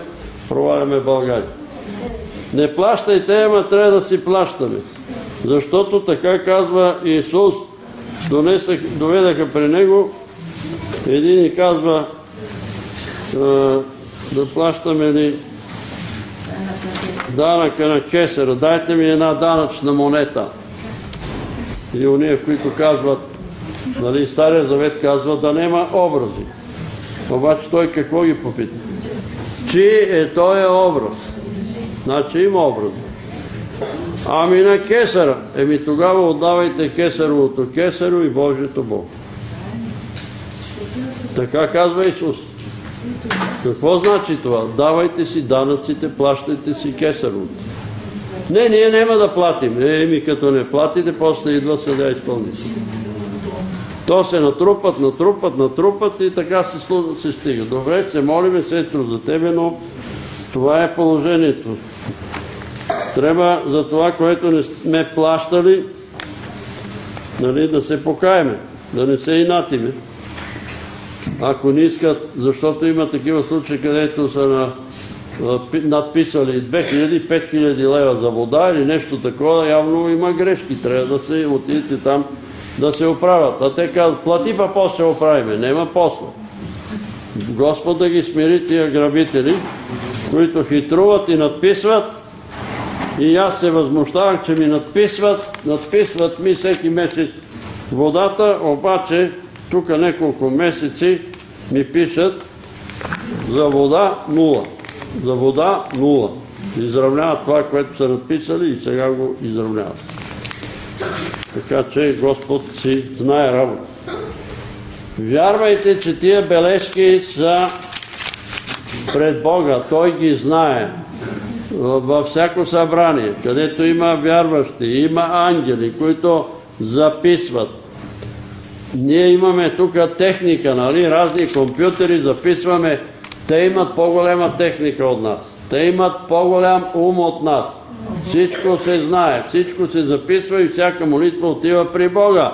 А също така се знае с каква вяра предлагаме тая молитва. Дали я предлагаме така, ако може да мине. Нали? Ако е формално, няма да стане. Нали? И ангел, тая молитва е формална. Тази е от сърце. Тази нали, е от много притеснение и с много вяра. И тогава, когато има вяра, Бог действа. Така е. Това е положението. Добре, предлагам ви сега, преди да почнем, после ще казвате молитвите, но преди това имате ли време ви още? И време да си отивате. Да се помолиме за тия хора са от Штип дошли на нашето събрание. Те слушат нашите предавания по а, интернет, обадиха ми се по телефона, сега са дошли да се помолиме за тая сестра. Нема да ми се сърди сестрата, казвам го, за да може всички искрено да се молиме. Лекарство, как беше? Таблето мания. Те, таблетомания. Видели таблетка лекарство, веднага е гълта. И нали, нейните родини се чудят къде да крият лекарства. Но тя пак ги намира по някакъв начин. И ето я пред нас е. Не може да се освободи. Това е дявол. Това е дух, който я води насам натам. По същия начин и ракията, по същия начин и, и тютюна. Кой е тютюна? Едно растение, една трева. Ама те държи върза него сега. Косан, пет дена без цигари, че се повърка и отишла да си купи една цигара. Той е вързан. Той е вързан, той е дух го държи. Защо? Ами получава второ естество. Нема второ естество, дяволска работа. Ще се помолим и за нея Господ да даде пълна победа и церение и тя да свидетелства да ми се обади от Штип и да каже, брати и сестри, жива и здрава съм. Не ме интересуват таблетките и лекарства. Айде да се изправиме. Как се казва? Лилияна. Лилияна. Вярваш ли, че Исус е син Божий? Че разпънат на Голгота на кръста за моите и за твоите грехи? Да, вярвам. Вярваш ли, че е, е възкръснал? Да, вярвам. Веруваш. Вярвам. Така викат и в наше село, викат вервам. Може да сме нещо роднини. А, вярваш ли, че Исус ще дойде втори път да съди живи и мъртви? И това вярваш. Добре. Нека се молим. Господи, молиме Те за Лиляна. Твоята рабиня е дошла чак от Штип тук да се помолиме за нея.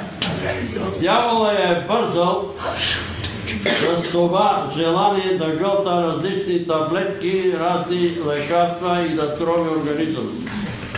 Ние те молиме този човекоубиец, този дух на лъжата, да го свържеш, да го пропадиш от тук, да я освободиш. Господи, тя изповяда, че някога се е занимава с окултизъм, е ходила по брачки, гледачки, но е разбрала, че това е измама, че това е лъжа. Тя се е отрекла от всичките тия неща. А освен това ти си казал Словото Божие, че не държиш бележка за времето на незнанието. И ето, сега тя иска да се освободи, иска да се покае съвършенно, да бъде свободна и царена в раните на Исус, да бъде и царена съвършенно от тая напаст да гъста различни таблетки или така се я нарекли лекарите таблетомания. Моля те от този дявол да бъде освободена. Молиме те, Отче святи, правили и творечи, Господарю на Вселената, да погледнеш на Лиляна през жертвата на Твоят Син, Божият Агнец, през кръвта на Исус Христос, да я приемеш такава, каквато е, да я помилваш и да я благословиш и от тук да си отиде благословена. А ти, дяволе, на таблетоманията, В името на Господ Исус Христос ти заповядваме да се махаш от сърцето й, да напуснеш духа й, да напуснеш душата й, да напуснеш тялото й, да се махаш от волята й, да се махаш от сърцето й и да отиваш там, където Бог ти е определил място. В името на Господ Исус Христос напусни нечестивицо и престани да лъжеш тази душа. Ти си лъжец и баща на лъжата. Напускай, защото истината за спасението на човешкия род е в Господ Исус Христос и тя е повярвала в Него и цената за греховете е платена и за цената за заблудите е платена и за болестите е платена и ти нямаш повече власт и дял над Лиляна. Власт и дял над Лиляна вече има Святия Божи Дух. Душе святи, действай в живота и дай съвършено давай съвършено изцеление. За силата на изцелението в името на нашия Небесен Отец. Бъди царена и развързана от тази мания да готваш таблетки. Бъди свободна. Ти си свободна. Освободителю на духовните роби. Господи Исусе Христе, освободи Лиляна, за да бъде наистина свободна. Слава да бъде името ти. Амин. Мога да дам едно свидетелство. От храни и от напитки съм се освобождавал от днеска за утре. Днеска пия, утре вече изобщо не пия и не ям. Такива вредни напитки и храни. Да? е, то като снимка. Моля. Крайбрежието една вълна, Така. застинала. Море. Моря на вълната се надигнала и стои така. И крайбрежие, като плаща. Вълна и крайбрежие. Ами ще трябва да се стегнеш няколко дена да устоиш. Никакви таблетки. Ама никак. Може да риташ. Чуй сега, брат Димитър. Посланието към Евреите, 12 глава, апостол писа, съпротива до кръв.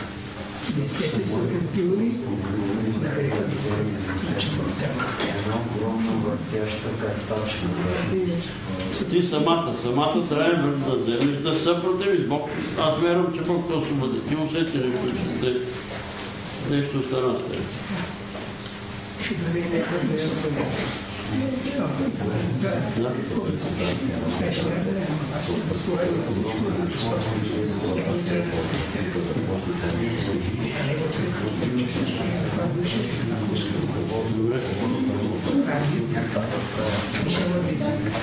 Ще действа. И трябва да реагираш със слово. Вярваме, обаче ама се изповядва. А кръвта на сигурно си много чисто. Него и трябва да се. Затова души напускай моето. Махай. От друга страна, моето тяло е храм на света и ти потърсиш. Така. Давай. Виждам църква с кратко едни стълби на високи пекари. И тя слиза. И имаше един човек зад нея, може би който не го вижда място, но ние така малко хората виждат. Като, знаете както, стълбите на шипка, нали? Те са много стълби. Да, да, да. И те слизаха, нали? Държи се за парапетка и те, слизаха по стълбите отгоре надолу. Не знам. Е, аз имам, Господ да ви помилва, да ви благослови. Искам да ти кажа на ръцете, за да помислиш. В а, Притча имаше една жена, която тук израснаха някакви жири, които вързваха ръцете и двете ръце и тя не можеше да си движи ръцете. И разни професори махаха, оперираха ги, след това пак израства. И тогава ние с Петър Николов ме заведе. Той там отидахме. Сега ги питам, има ли нещо тук да сте намирали нещо? Да сте се усъмнили в магиосно, че се отдава и към всеки ден ни се хвърля тук през вратата. А те така са, имат само една врата, другото е къщи и е заградено. И намираме разни буклуци. И ти ли ги взимаш тия работи? Аз ги взимах. И се молихме и там пастира на Кричим беше казал, ами това Петър Велев е фалшив проповедник, не го слушайте. Обаче помолихме се, гонихме магиоснически духи. И край. Нещата се оправиха и тогава брат Петър Николов беше го питал, е, какво ще каже сега това за фалшивия дойде и се моли и тя се оправи. Е, ама то е дарба, то дарбите са на Господ, Господа и царя. Ами Господ е и царя, аз не съм и царя. Но възможно ли е ти нещо да си намирал по двора, ти да си опипал с ръцете? Имаше едни наши приятели, те са в Германия и намериха в колата една възглавница, която беше вътре пълна с коси, с парени клечки, с ранени конци, Кучи, с игли, с всичко. Една имаше игли. на боден. на бодени Вие се плашите да е първо. А тия взема, колкото да го. И явно това е водомагия. Те се занимават с игли, Тия ме дойдеха некои потъмнал в колата, не са тия прави. да, не, не са те, ама някой те е служил в колата. Слизаш по едни стълби надолу. Това съм пипал, друго не съм пипал. И добре, се помолим за тия ръце. Господи, ти как се казваш? Драган. Драган е твой раб, той вярва в тебе. Но ето той е вземал някаква възглавница пълна с боклуци, с конци, набодена с много игли. Явно тия човеци са правили водомагии, за да може да набредат на него или на дома му. Но ние знаем, че ти стоиш много по-високо от тия зли духове и тия зли човеци, които работят с зли сили. И затова призоваваме Тебе, началника на живота, да унищожи всички, клетви, заклинания на тия човеци и ръцете на Драган да бъдат развързани и освободени. Магиоснически душе, по какъвто и повод да си дошъл. Сега ти заповядвам в името на Отец, Син и Светия Дух да се махаш от Драган, да се махаш от ръцете му и да отиваш там, където Бог ти е определил място. Господи, благослови тия ръце, освети тия ръце, помилвай тия ръце, да могат да работят, да се трудят, а магиосниците да се засрамят за делата си. Господи, слава да бъде на името Ти. Нека Драган и Лиляна да си отидат от София в Штип. Здрави, радостни, благословени. Ние ги благославяме, Господи, и те молиме и Ти да ги благослови. Слава да бъде на името Ти. Благодариме Ти. Амин. Едно гребло събира окосена там трябва. Гребло. Желе, по-малко. Събира нещо. Гребло. Еми, очиства, очиства. Греблото. Значи, виждам го да дига един съд, е като тая отзад саксия бялата и отгоре се вижда светлина. Надига го високо. Еми, Господ да е сила в ръцете. в името на Отца и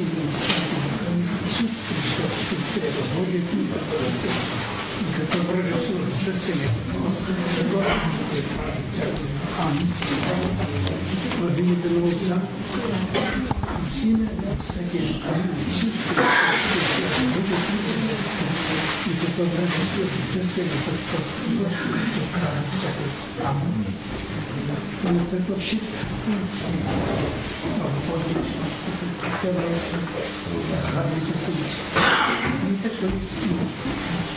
На се да се. На. Помна бе, брат Петър, защото вече аз ви слушам през интернет, и мисля, не съм да видя. То всеки път трябва да дава само този отдел. Искам тези неща да запомните и всеки ден да ги правите. Четири на Слово. Всеки ден. Размишляване върху Бога. Като чуем, какво ни казва молитва. Благодарим за проблем. Общуване с вярващи. Свидетелство за Исус. Вярващи вярвам какво? Исус Христос и Божий. Умазан от Духа и за това. Става от работа на свет. Благодаря, Господи. Амин. Ти книжки може ли да? Да, да, да. Ми трябва да тук. Не, не, не, взимайте. Те са за раздаване. Те са да раздават. Те са да раздават. Ние много ви благодарим. Отбихте на време за нас. И искаме да те видим отново, Нели. Ще имам контакт с брат Петър, ще пишем. Ще се обаждаме. Ако Бог даде, ще дойдем отново. Добре, ще се молим за вас, вие се молете за нас. Господа, да За първ път се молиме за такова нещо. Които имат болести, трябва да се молим за тия. Ти от готово правиш диресия, нали? Да. Ти доглед имаше яши, трябва да ги махаме, некому трябва да яш.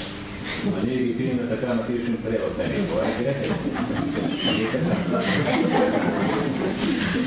Да роди слава. Да ви пази Господ, брат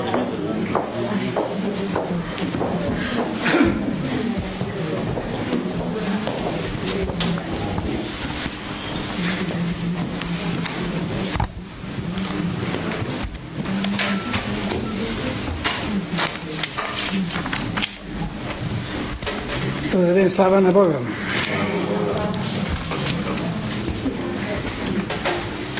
Ще продължим нашите размишления.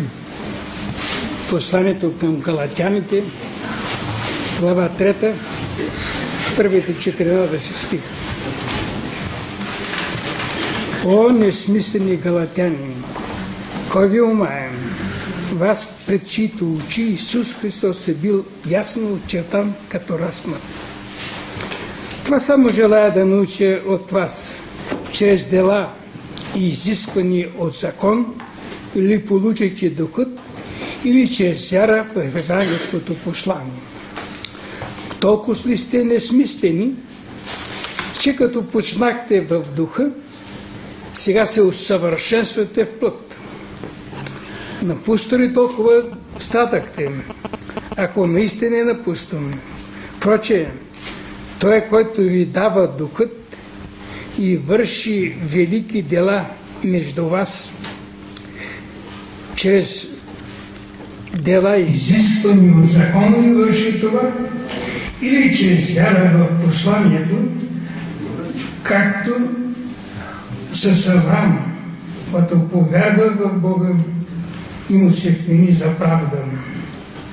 Тогава познайте, че тие, които упражняват вярата, те са Аврамови чеда. И писанието, като предвидя, че Бог чрез вяра щеше да оправдае езичниците, изяви предварително благовестието на Авраам, казвайки, в тебе ще се благословят всичките народи. Така, защото тие, които упражняват вяра, се благославят заедно с вярващият Авраам. Защото всички, които се облягат на дела и изисквани от закон, са подкрепа, понеже е писано проклет всеки, който не постоянства да изпълнява всичко писано в книгата на закона.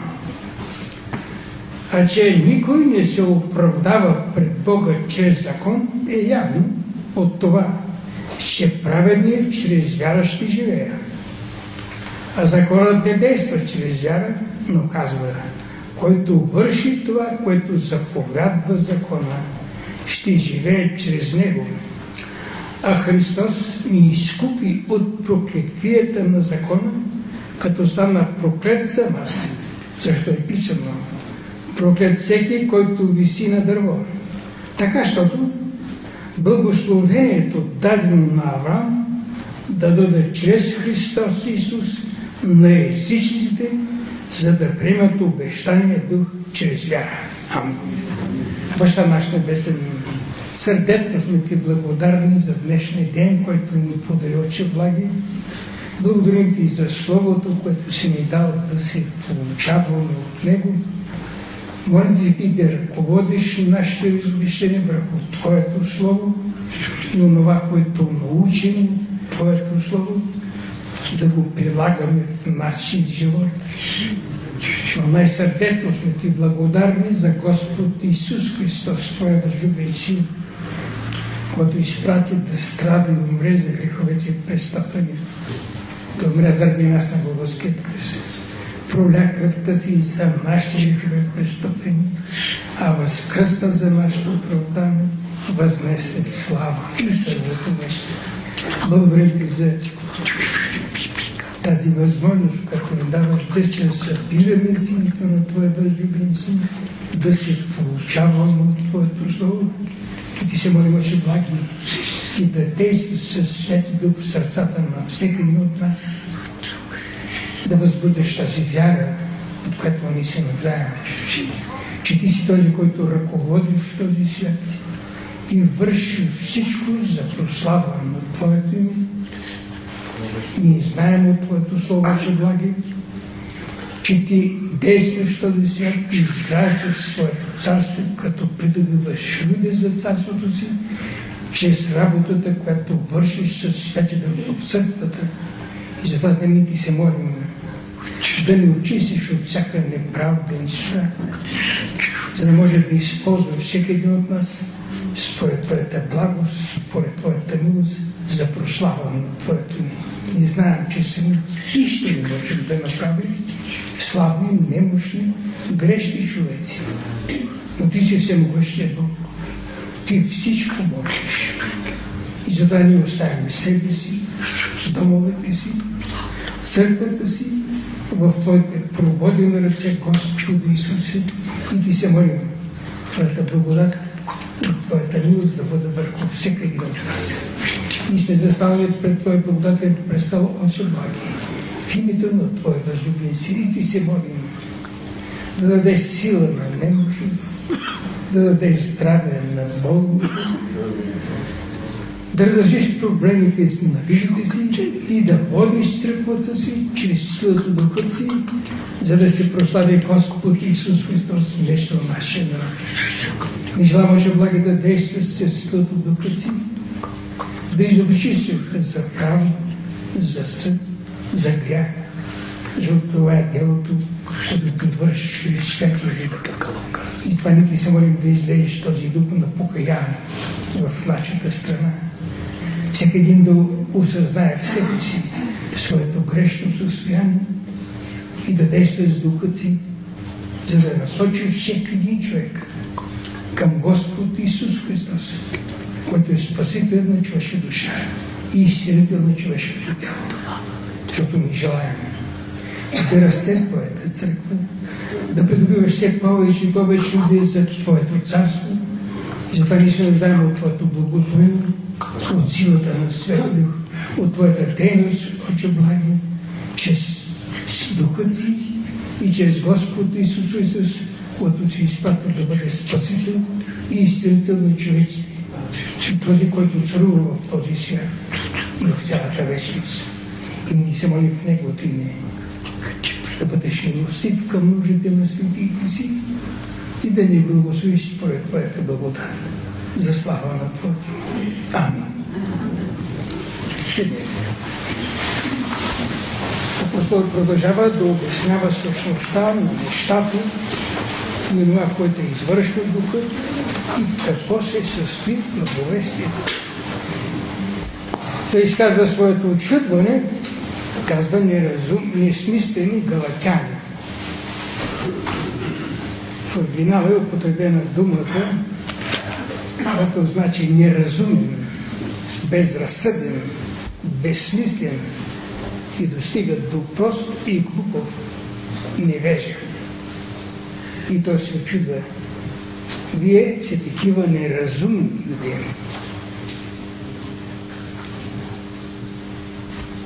А Бог иска да бъдем разумни. Бог иска да не бъдем глупови, безразсъдни. Цяла една книга на Библията, това са притчите, Бог разглежда кой е разумен и кой е неразумен. И казва, че неразумният е, не, не, не е мъдър човек, защото трябва да правим разлика. И апостол Яков казва, има земна мъдрост, маче тя е бесовска. А има мъдрост, която става от Бога. Тя е чрез Святия Дух. И цялата книга говори апелира човека да приеме разум от Бога, да бъде разумен, да не бъде глупав, но да бива мъдър, да придобива знание, да придобива мъдрост.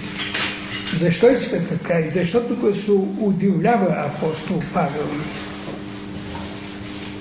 Неразумният няма правилна преценка за нещата. Неразумният замества духовната радост с материални благословения и плътска удоволствие. Разменя нещата и смята, че са равностойни, но те нямат никакво общо с себе си. И апостолът именно това, вие как може така да бъдете неразумни? Да заменете духът с плътта. И след това продължава. Вие заменяте Христос пред вас. Той беше очертан и думата, която употребява апостол Павел, значи написан явно, ама на, като както сега лепят плакати да се вижда от всеки. Така на стената е така ярко е бил изрисуван. Христос страдаш на Голготския кръст. И как може това нещо да го замените?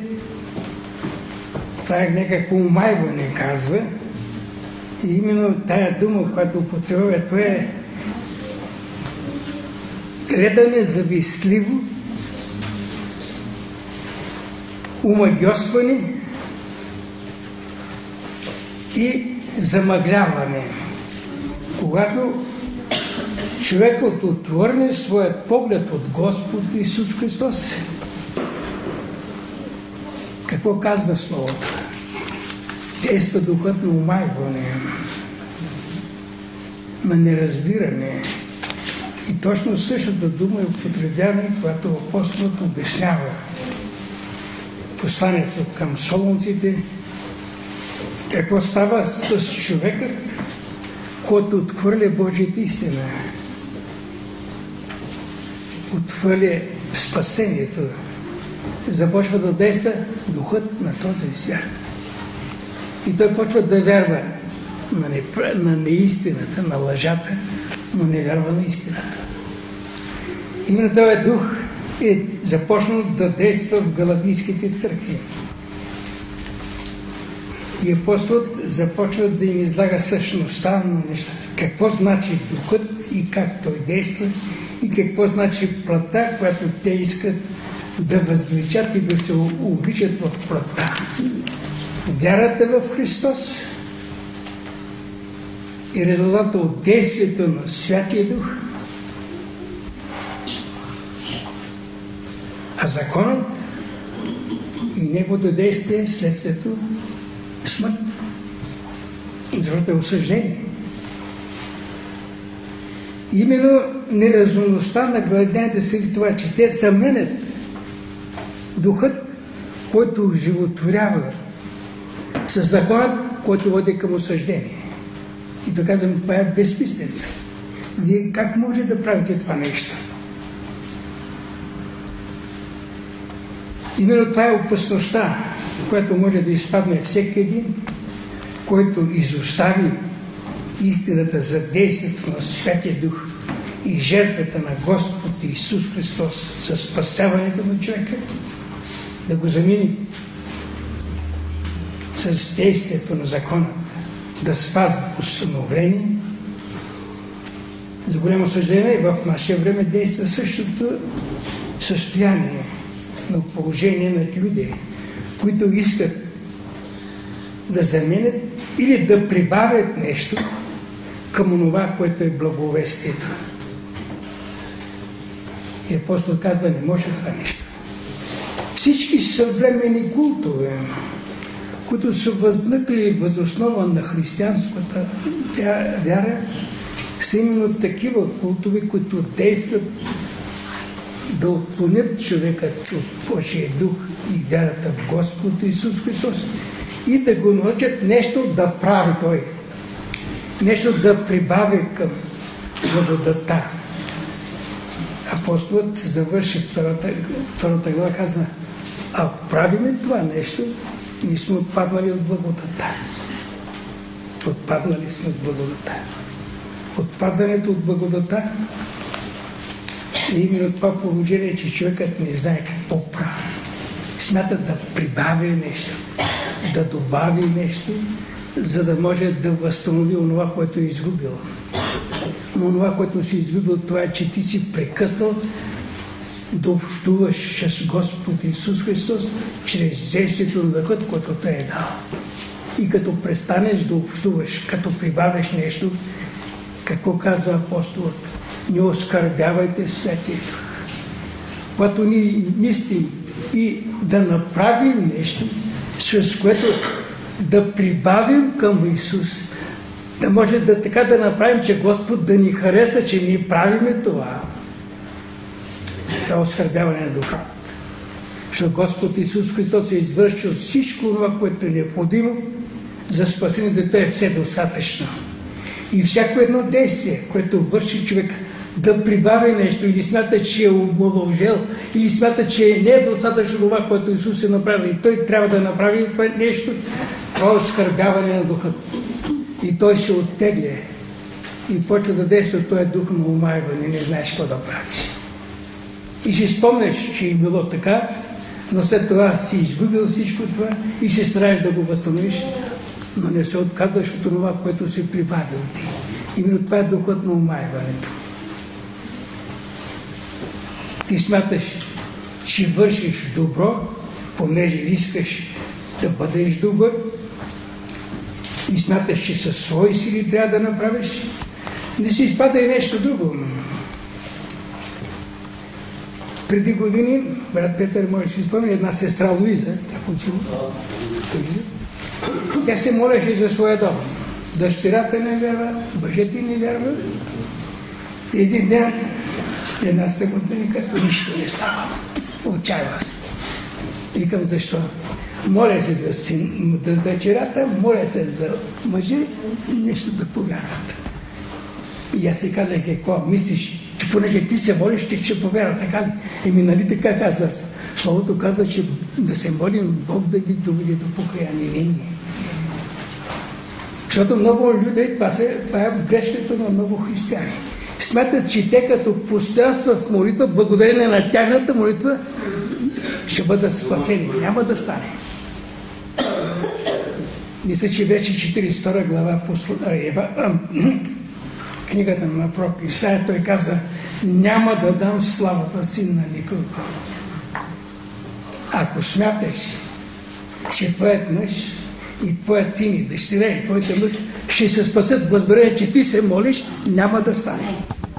Защото като повярват, ще почнеш кажа, благодарение на моите молитви, казва, ето, те повярваха. Но не може да повярват благодарение на твоите молитви. Те ще повярват благодарение на действието на Духът в тях. А това е работа на Святия Дух. Не е твоите мое. Но ние може да се молим и да настояме Бог да действа в сърцата чрез Духът си. И тогава славата е, че Той е подействал. А ние сме изпълнявали Неговата заръка да се молим за нужда. Те се нуждаят от спасение. Но ние можем да дадем спасението. Това не е наше действие. Ние е резултат от това, че аз се моля за този човек да се спаси. Но е резултат от това, че Светия Дух подейства в този човек. А той подейства, понеже аз се моля за него, искам Господ да го спаси. Но Господ да го спаси, не че аз го спасявам своите молитви. Именно това е положението, в което изпада всеки един, който се отклони от истината за спасяването на човека, чрез вяра Господ Исус Христос. Не с наши усилия. Тук мисля, че беше книгата на пророк Захари там. Действието на Светия Дух. Не с сила, не с коне, не с поезици, а чрез моя дух, казва Господ. Именно той е дух, дух, Святия Дух е, който действа. И апостолът се очудва на верата. Как така казва стана? Пред вас всичко беше представено много добре, а вие се отклонихте и почнете да вършите неща, които нямат нищо общо с действието на Святия Дух. Оправдаването е чрез вяра в Божия дух, не чрез действията по закона. И това апостолът представя. Оправдаването чрез вяра. Вие получи, бяхте оправдани чрез вяра в Господ Исус Христос. Делата вътре в църквата с резултат от действието на Святия Дух. Делата в нашия живот, което вършим добро, е резултат от това, че Святито действа в нас. Иначе не може да ги направим. Какво казва Христос? Да любим неприятелите си. Аз не мога да ги любя. Вие ако можете, добре. Но аз не мога. Кой може тогава? Как ще изпълним заповедта? Ами чрез духа. Римляни 5 глава 5 стих казва Божията любов изяна в сърцата ни чрез дадения святи дух. Значи тази Божия любов, която е в сърцата ни, тя обича ни приятелите, но не аз. Божията любов, тя в мен, но чрез духа. Именно това е, което ни казва апостолът. Духът е, който действа. Той върши нещата. Че и тук им представя нещо, което е от голямо значение за всички вярващи и за цялата църква. Чрез вяра ние сме наследници на обещанията, които Бог даде на Авраам. Чрез вяра. Наследници на обещанията. Какво Бог обеща на Авраам? В Твоето име ще се благословят всички народи. И какво е получи? Обещан за идващият Месия. Какво стана? Авторът на Бите каза и повярва Авраам. Какво? Това, което каза Бог. Но то беше вече на 100 години. Но повярва и апостол обяснява това в посланието към Римите, четвърта глава. Повярва. Ще те заведе този, който се обещава. Кой ще те заведе? Бог. Той се обещава. Тая земя ще бъде твоя. Името ти ще бъде велико. И е наистина велико. В твоето име ще се благословят всички народи и ще имаш потомък потомъкът е Исус Христос. И той повярва. И какво свидетелство Христос за него? Авраам видя моя ден. Значи той повярва, че ще има потомък и той потомък ще бъде спасител. Той го повярва. И Христос свидетелства. Авраам видя моя ден и се зарадва. Именно въз основа на тази вяра всичко му се вмени за правда. Всичко. Повярва и апостол Яков обяснява. И това му се шете за правда. И апостолът продължава. И сега ние, които вярваме, ние наследяваме неговите обещания. Ние сме негови синове, защото сме наследници на Авраам. Наследници по вяра. И тук той разгледа, че има наследници по път на Авраам и наследници по вяра на Авраам. Ние сме наследници по вяра на Авраам. И, тога, и сега всички тези благословения, които Бог ги дава на Авраам чрез вяра, са и за нас. Ние сме наследници на тези благословения. И тук в скоби ще ви кажа нещо, което е, трябва да го знаете. Всеки, който се отнася с пренебрежение и злословие и клевети църквата, наседава това проклетие, което Бог казва на Авраам. Който те прокълне, ще бъде проклет. Това въжи и за отношението на светът към църквата. Защото църквата е наследник на тези обеща. Всеки един, който благославя църквата, благославя вярващите, ще бъде благословен защото това е което Бог каза на Авраам. Който те благославя, ще бъде благословен. Ние сме наследници на тези обещания, казва апостол. Защото сме наследници на вярата. Тази вяра, която беше в, в сърцето на Авраам, чрез действието на духът в неговото сърце, е същата вяра, което ние имаме, понеже тя е резултат от действието на Светия Дух в нашите сърца. И тук апостол казва, понеже ние вярваме, ние сме освободени от проклетията на закона. Защото законът е проклетие, осъждение и води към смърт. Именно това ни казва Словото. Още в Второзаконие, 27 глава, 26 стих, именно там е същността на нещата, казва проклет всеки, който не постоянства да изпълнява думите на този закон. Това е проклетие. Проклет всеки, който не изпълнява. И апостол Яков обяснява, ако опазиш целият закон, а съгрешиш едно, ти си нарушител на закона. Това е положение. Ако опазиш целият закон, но само едно нарушиш, ти си вече нарушител на закона. А който наруши закона, наказанието е смърт. В една своя проповед Уайт Муди разяснява как ставаме нарушители на закона и понеже провеждал събирането в една шатра, там в местния град имал голям панаир. Тук на времето имаше такива панаири или на празници на села и на градове, и там панаири. И аз съм виждал именно това, което иллюстрира тук Муди. Вика е тая вечер, ние сме с брат Сянки, казвам, отишли и там взимаме 10 такива като гривни бета, от, изработени от дърво кръпчета и се хвърлят. И там наредени бутилки ти като хвърлиш, ако закачаш бутилката, тая бутилка става твоя, защото си е спечелил. И ние почваме, аз взимам 10. Това е законът, казва 10 заповеди са. И аз почвам да хвърлим първата, закачам втората пата, третата пата, четвъртата пата, нарушител на закона. Това е. Брецанки почва първа, първа, първата, печели втората, печели третата, четвъртата, петата, печели се обръща към и е, вижте какво е праведен човек. Четвърта, пета.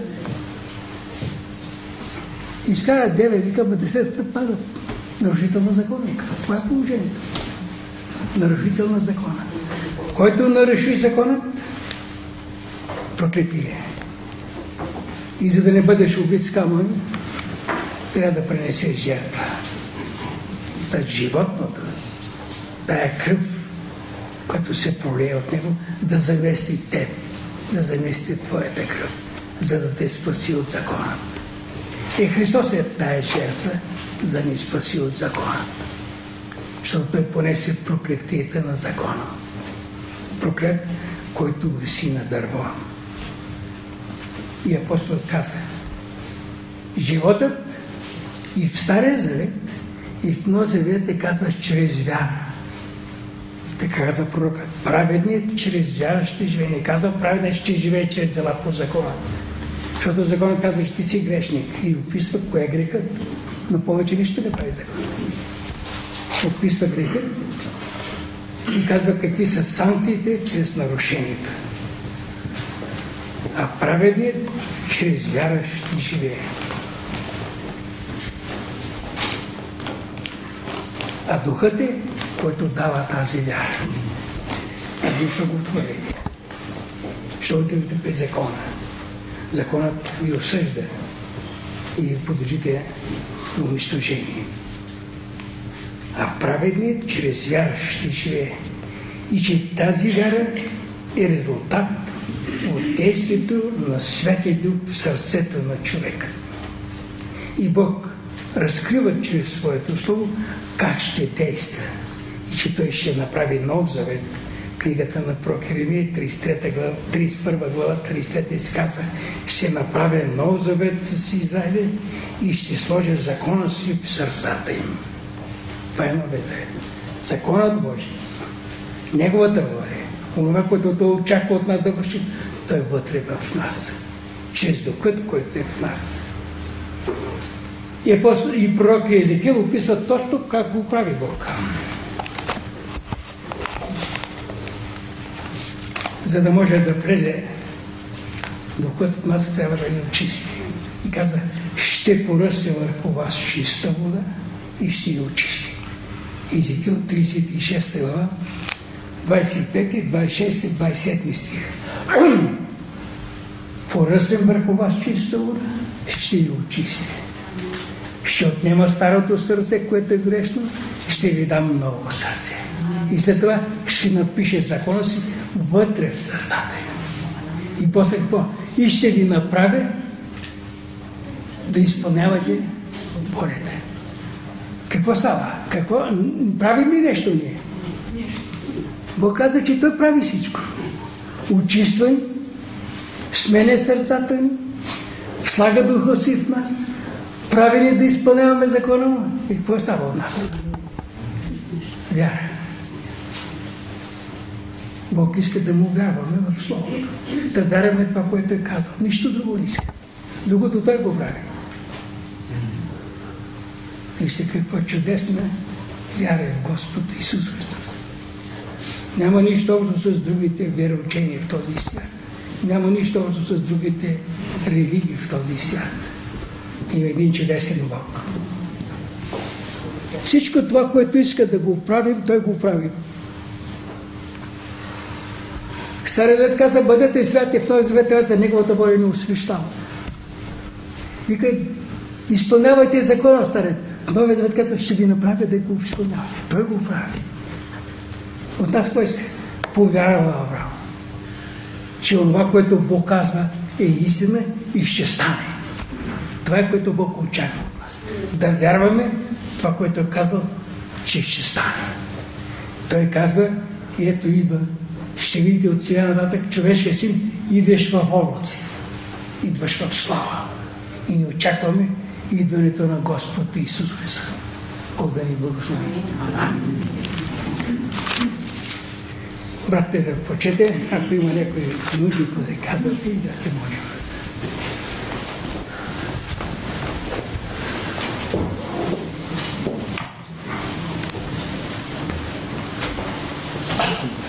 Как казвайте други нужди?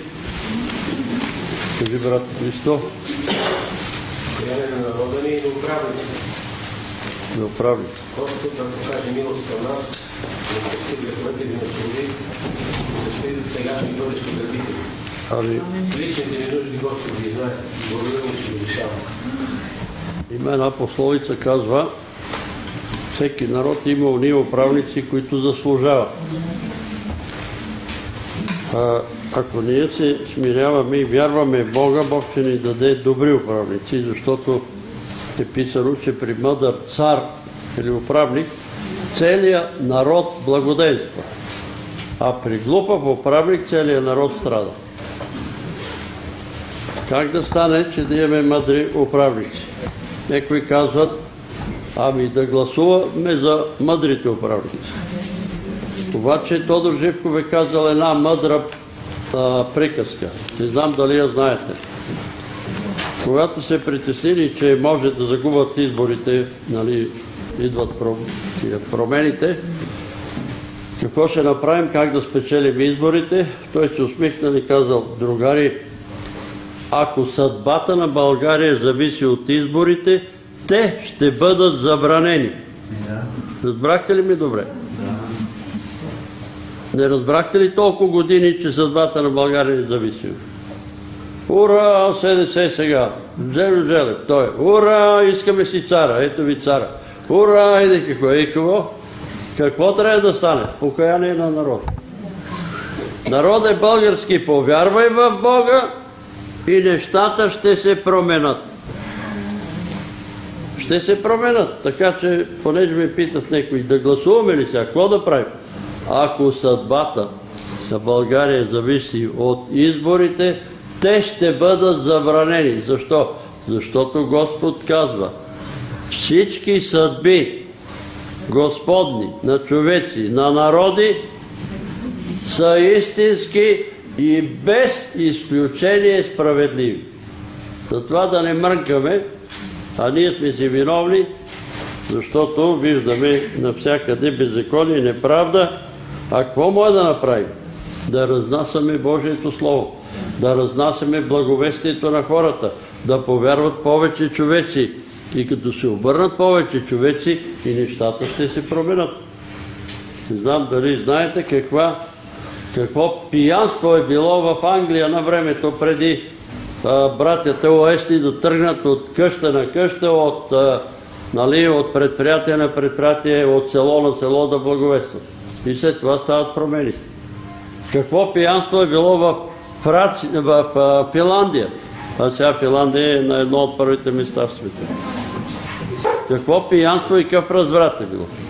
Докато братята тия Макдоналд, вие виждате тук Макдоналд, обаче Макдоналд, фамилията Макдоналд, всеки, всеко семейство, ако му се роди момче, са дали оброк пред Бога, ще го направят мисионер и евангелизатор. Ако е момче и тръгват по света, отиват в Финландия, занасят благовестието и това благовестие променя народите, не изборите. Ако щете, гласувайте както искате. Сега, всеки да гласува по съвест. Но няма да се промени съдбата на България в избор. Ще се промени от това да се обърне народа към Бога, да, ако народа се обърне към Бога, той ще заповяда на министъра на просветата. Ще му, се, ще му прати Архангел Гаврил и ще му каже, ей, Ели въвеждай вероучение, Ели отиваш в ада. Ама народа трябва да го поиска, ама родителите трябва да го поискат. А те, еми не знаем, еми де да знаем, еми какво да правим. Еми какво да правите? Знаете какво да правите и виждате какво става с децата ви. Синове посягат да убиват майките си, да бият бащите си. Това е положението. Но ние ще се молиме за нашите управници, Бог да им даде мъдрост, която не е земна, бесовска, а мъдрост, която слиза от небесата. Добре, друг има ли който да предложи? Кажи се. Сестра моля да се моли, че има истинка. Истина е. Добре, друг. Там брат Васил. Обадени са на брат ми дъщеря му и моли да я представя за молитва за изцеление куче е нахапало вече на 3-4 места днес, ударено и преди една година, гледала го е сега колко шоро да ги хапа една. И е нахапало днес на 2-3 места, колко да помогне на изцеление. Как се казва? Ваня. Господ чува, знае. Една сестра ми пише писмо сега. Андрей се казва нейния син. Нали, аз ви казах преди малко, той се е, е дипломирал там в е, богословие, как се казва тая степен, някакви степени има тук. Е, едно писмо ми пише тая сестра. 20 години е живяла, вика, в тъмнина, не сме знаели нищо за вярата, за Бога, макар да съм с висше образование. Виждате ли, че образованието Макар да съм с висше образование, нищо не съм знаела за вярата в Бог. Защо? Защото такова ни е образованието в България. Хората по света имат информация да знаят. Да знаят, поне има религия или нещо друг предмет. Нищо не съм знаела нито за Божието Слово, нито за Божията сила, нищо. А нейният син се магистър по богословие, но е натоварен. Не е добре и тя иска да се молиме Бог да го развърже и да го освободи и цери. Така че и магистратура да завършиш и то богословие, ако не повярваш, къде отиде брат? Ако не повярваш Словото и да си завършил магистратура, и то по Библията, ако не го повярваш, няма да те ползва. Не те ползва, ето той човек е обладан. Да се молим и той Андрей Бог да го развърже и освободи. Друг. Кажи. За покаяние на съпруги, които много философстват. Ами, моя. Амин. Ами повярвай. Какво да повярвай? Повярвай, ти ще се спасиш, ти и целият ти дом. Повярвайте го това. Че ще се спасат съпругите ви, съпрузите ви, децата ви, внуците ви. Ще се спасят. Това не означава, че не трябва да се молим. Нали да не разбрахте криво, брат Димитър, че ви казва, не се молете, легайте и не бойте се. Ние ще си се молиме, но нева. Нева, ходих в болницата деца, Да. затова закъснех. Малко е по-добре, ама да се молим за нея. Три дена я помолих, бе, аз понеже бех във Франция, викам, дай три дена преди а, Рождеството си да постим. Ти при каквото искаш, аз не мога. Аз такива работи не. А сега 10 дена само на по две велики сухарчета, такива две малки сухарчета и едно чайче Тя е на захар. пост. Ето ти, викам. Ето ти поста. Покая се сега, на Господ да помогне. А, ето, ако беше послушала мъжа си и ако беше на пост, немеше да стане така. Там една ръка се вие, чуйте. Брат Петре, пътувайки покрай празниците за село, в Перник ми откраднаха чантата на спирката. Беше тъмно, ми издърпаха от ръката чантата с всички документи, с всички каквото има. Леле тия кърчи. И моля Бог да го срещне. Господ да поне да се намерят документите. Да, защото има документи за пенсиониране, лични документи Бог да го срещне и да го Това краде. крадеца, да повярва и да върне праведник. Амин. Амин. Да се молим за тия кърци да ги вразуми Господ. И чакайте, не бързайте, аз карах на времето такси и влезах така в, една, в един строеж, са по-малка мъжа с извине, и видях хвърлени документи. И изчакайте, Дай първо Боже да- ще ги хвърля, защото не им трябва, и после някой път трябва да ги намери. Бог да прати някой път да ги намери. Така ще се молим. Е но между другото, това е дълга история. Той не искам да ви занимавам. Има свидетел за случая, защото аз се оплаших и нямаше никой. Той издебна а, да няма никой на стърката и ми издърпа силно. Аз паднах даже, нараних се, започнах да... Видях го как избяга, завих покрай ръката и започнах само да викам, Господи, помогни ми, Господи, помогни. Отидах до бензиностанцията, там вече извикаха полиция. Имам свидетел, Бог ми изпрати веднага свидетел и я разкри, вече знае си името кой е и задържа. Но това е пак действие на Бога и Да. така, че да го, те го държат сега, ще има следствие, ще, ще го предадат, имат висящи дела. А, той е криминално проявен, знае си името му. И така да се приписва Бог, че да да. Ами да се молим и за тия наши съди. 13 висящи дела. 30 висящи. Абе, кои са тия висящи дела?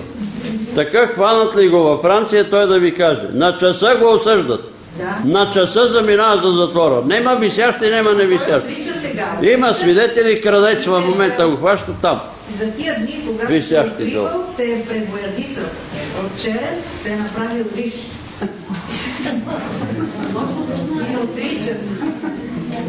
Нощи, нощи показаха по телевизията как една жена учи малкото си дете да краде в магазин. Видяхте ли? Е, толкова отива и му казва да открадне нещо. Еми, проклети взимат на главите си и после питат защо не са добре. Пророк Захария, пета глава, прочетете я. Пророк Захария вижда един ангел да хвърчи и го пита какво виждаш? Свитък да хвърчи. Това е проклятието, което ще влезе в дома на крадеца и ще бъде него и камъните му и дърветата му. Това са камъните и дървета, са му децата и внуците. Ще ги пояде крадеца, защото носи крадени работи в къщата си. Ама какво да ги правиш? Това е народ. Това е ми казва. Да. Като казвам грабители, не само тия груповите, но и тия поединичните. Вие сте тази група. А, и самите единични кръци и грабители. Ами Господа ги разкрива. Да помага, ето както той е разкрит. Да разкрива такива грабители, да ги хващат. Аз не знам.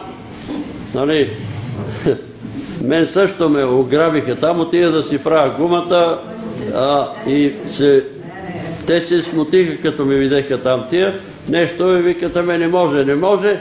И по едно време, защо да не може? Ми, защото тук едно момче го ухапа змия. И как че го ухапе змия тук в Е, ухапа го и го откара в пирогроб. И после това момче, ако е краднало, ще пита защо му ухапа змията. Защото крадеш. И защото оня човек те е проклел. Аз не съм го проклел. Напротив, аз се радвах, когато видех, че ми е ограбен апартамент. Аз се зарадвах, дойде радост ми. Ама ще дойде наказание, защото Господ вижда. Господ вижда къде посегаш. И после, оле, откъде ми дойдеха тия мъки, откъде ми дойде тия болести, откъде ми дойдоха тия катастрофи? Ами оттам ти дойдоха. Защото пипаш, което е чуждо. Да се молиме за кръците, разбойниците, да ги разкрива Господ. Да ги разкрива, да ги насмита, да се объркват и да бъдат ловени на местопрестъпление. Това иска да каже брат Христо. Ама и тия, които са си направили закони и закончета, които ги заобикалят и си отварят вратички да грабят по узаконен начин и тех да ги разкриват. Добре, друг има ли? А убийците? Еми убийците. Убийците се знае, няма да наследат небесното царство. Ако може да се говори за моето влизане в болница. Моля? За влизането ми в болницата. Кога влизаш? Утре вървям Поле. от понеделник нататък. Вчера така се Да. обаждала, но не съм ми се обадила. За кой ден предполагам. Добре, Господ да бъде с тебе в болницата. Бог да благослови лекарите. Моли се за лекарите. Да, да, ще моля. Просто кабинетите, изследванията, които трябва да се направят, евентуално нещо, лекарства, да може да се очисти всичко и да, да изляза здрава и И да попаднеш на добри лекари, защото знаете сигурно приказката там, че шопите се молят, Боже, опази ме от адвокати и лекари. Оп- Опази ме от адвокати и лекари, защото един адвокат, нали баща му бил адвокат, и той станал адвокат и първото дело, като отида там и го спечелил. Тате, спечелих дело. Абе, сине, бе, сине, аз с едно дело те изучих, а ти веднага си го спечелил. Един лекар, така имал син лекар, Тате, излекувах човека. Синкове, синкове. Аз един човек го лекувах цял живот, ти изучих с него, ти веднага си го излекувал. Да не бъде това с българските адвокати лекари, ама така шопите са решили, че така върват нещата в България. Така върват. Дават и това ли го, онова, ако това на айде друго, друго, гълтай, гълтай, трови се. Заповядайте. Брат и сестри, да се помолим за дъщеря ми, че е болна, има температура, Соня се казва. Господ да се смири над дъщерята и сестро. Кажи. Брат и сестри, да се помолим за моите синове Митко, Николай и Снаками, защото са изнервени, Инженери. натоварени. Изнервени. А, изнервени. Аз Изнервени, не те разбрах. аз протезата малко трудно говоря. Изнервени, натоварени, обременени и а, не искат да слушат като им говоря. Дори малкият син днес му докара и до тук, виках му ела бе влез да видиш хората, не иска да влезе. Господ да хубаво. Е, ще стане сестро. Вярвай. Нали вярваш на това, което пише Библията? Повярвай ти, ще спасиш ти и целият ти дом. Ще стане. Вярвай. Ако не, днеска утре. Ако не, утре други ден. Ще се спаси целият ти дом. Ако искрено вярваме, целите доме ще бъдат спасени. Това е обещание от Бога. Той няма да се отметне от обещанието. И знаете, че благославя праведния до колко поколения? Хиляда. Кажите. Аз искам да благодаря на Бога за всичките му благодеяния. Не само към моето семейство, а за, цели, за целия ни народ. Амин. И ние всички му благодарим. Кажи. кажи. Молиме за дрехте, чрез тях Господ да ни изцели съвършено. Амин. И за цялата страна България. Амин. Да бъдем живи и здрави. Сестра Розалия. Моята Кристина, много борба има между злото и доброто в нея. Просто Борба е има там. тежка За душата и се води война. Едно доброто, не Да наддалее доброто. Добрият ангел да наддалее. Добре, друг, ако нема, горе, Нор. За баба да се молим, че е починава да се обажда на ясновидците. На кой? На ясновидци. На, тръгнала по ясновици? Да. Баба ти? Да. И тя нали знае, че това е грех? А защо? Защо търси ясно нещо? Болна ли? е? Какво? И болна. Тя е с един бъбрик, баба й.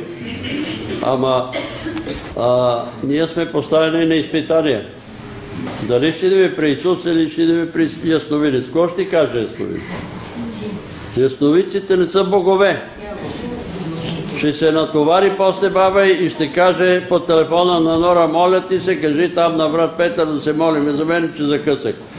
Ще се натовари от ясновиците. Не отивайте по яснови. Господ да я върне, да я спре. Да, брат. За Георги и за Елия, пак, пак казвам, много сестри, щитовидните жлези. Нещо става. Водата ли е, какво е, но повечето жени, сестри се оплакват, че проблеми имат с щитовидните жлези. Господ да се смили над жените на България. Сестра Цветанка. Райна ми каза вчера да се помолиме за нея, защото Лили вече не е идвала. Тихо, тихо не чувам. Сестра Райна, където не може да е за тук, много да я боли гастрита. Добре, сестра Рай. да помоли да представим нуждата и да се помолим за моя дом. Бог знае духовното За синовете. А и снахата, и внуците. И за снаха ми Бог. За всички. Господ. Да, благодаря. И нека да се помолим. Сега аз не знам какво става. Знам, че преди много виждах в дума ми влизане, което никой не вярва в дума ми. Обаче то беше на лице. И сега, миналата седмица, аз си влизам и не обръщам внимание много-много на канапето съм сложила икони. Мъжа ми вика, вземи ми почерпи там едно момче, беше дошло на приятел на Иво, и почерпи с бомбони. Аз знам, че в момента няма бомбони, имам сладки други неща.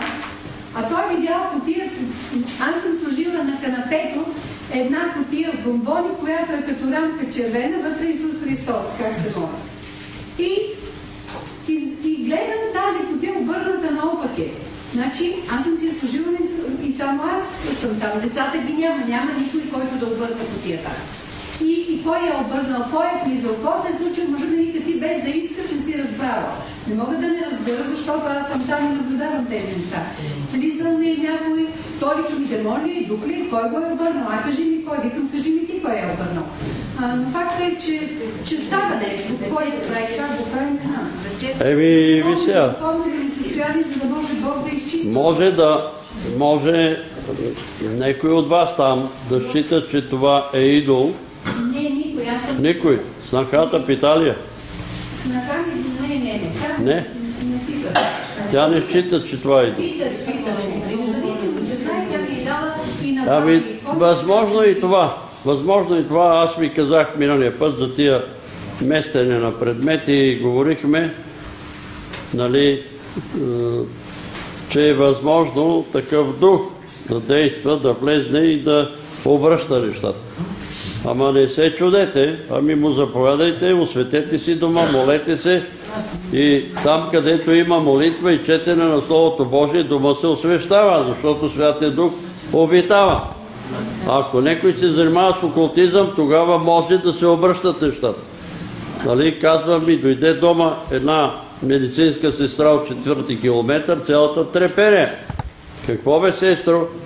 Ами вика, докараха едно момче от Пловдив, психично болен, и казва, че говори с извънземен. И ние му се смеем и викам, къв извънземен, бе, глупости говориш. Обаче, както пиехме, вика, кафето, изведнъж една чаша кафе се дига във въздуха и тръгва. Вратата се отваря, ние вървим по нея. Обикаля, отива там пред прозореца на това момче, чука на прозореца, той отваря и му подава кафето. Възможно ли? Възможно е. Но това не е Господ. Но това не е Господ. Възможно е. Затова, ако се местят предмети, полтергайс, някой се занимава с окултизъм, или се занимава с магиосничество, или се занимава, проба дали работи тая магия, да работи водомагия, дали работи, като заработи, И после като го зашамаросат, дяволите ще се чуди какво да прави. Писано е, не ходете, ето и нейната баба. Къде е тръгнала, тя е християнка, сега ще ходи на врачка. Не ходете, не се осквернявайте. Не се оскверняваме, се молим за нея, за да не се оскверни да и попречи Господ. Не ходете, тия хора ги видяхте. При Ванга са ходили, при врачки, гадатели, екстрасенси, къде ли не. Сега са се отрекли, нали, отричат се от щип. Господ ще подейства, когато се обърне. Така, друг некой. Кажи, брат. майка ми, за баща ми, за брат ми се помолим да повярвам. Брат ми чете. Амин. Амин. Лазарев. Лъжа измама. Лазарев, нали, аз съм чел от него, той казва, той нали, най-големият екстрасенс, за който го считат екстрасенсите, най-големи учител на екстрасенс. Не може да се изцери рак с екстрасензорна корекция. Дори и да се изреже рака, той отново ще се появи на друго място, ако не бъде изстрадана, той вярва в карма. Ама тая карма се прощава чрез кръвта на Господ Исус Христос. Лазарев не признава това. Не признава, че Исус прощава наследствени грехове. А наследствените грехове се очистват и от водното кръщение. То е символ, че ние умираме, стария човек умира, и възкръсваме за нов живот в Христа Исуса и старите неща се така, отсичат. Но и ти, брате, повярвай, че като вярваш ти, баща ти, майка ти и брат ти ще повярват. Рано или късно. Вярвайте го това. И Бог действа чрез тая вяра. А не чрез Петър Велев. Ако се помоли, той ще повярва. Не мога да ги направя вярващи. Никого не мога да направя вярващи. Но вярвам на това Слово, че всички вие, ако искрено вярвате на думите на Божието Слово, домовете ви ще бъдат променени. И не само вярвам, но аз усещам, когато се молиме тук и казвам, Господи, благослови домовете ни. Благослови родовете ни. Знаете ли какво става в мене? Нахлува радост. Радост нахлува, че домовете ни и родовете ни ще бъдат спасени. И вярвайте го. Вярвайте го и ще бъде. Да пламенете Исус. Искам да кажа от опит, че дава не само кафе може да ти поднесе, това е много ефектно, много впечатляващо. Но на Исус Христос той каза, всички тия, царства на мен са дадени. Поклони ми аз ще ги дам на тебе. Много повече може да направи той да даде. Това са просто ефтини ефекти. Добре. Друг има ли? Горе. Нема. Да се изправи. Време се лети.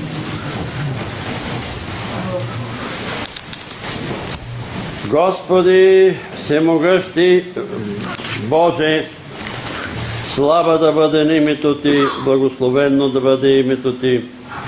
Ти всичко знаеш, всичко можеш, преди да бъдат предложени тия нужди и за кръците, и за, разбойниците, и за роднините ни да повярват.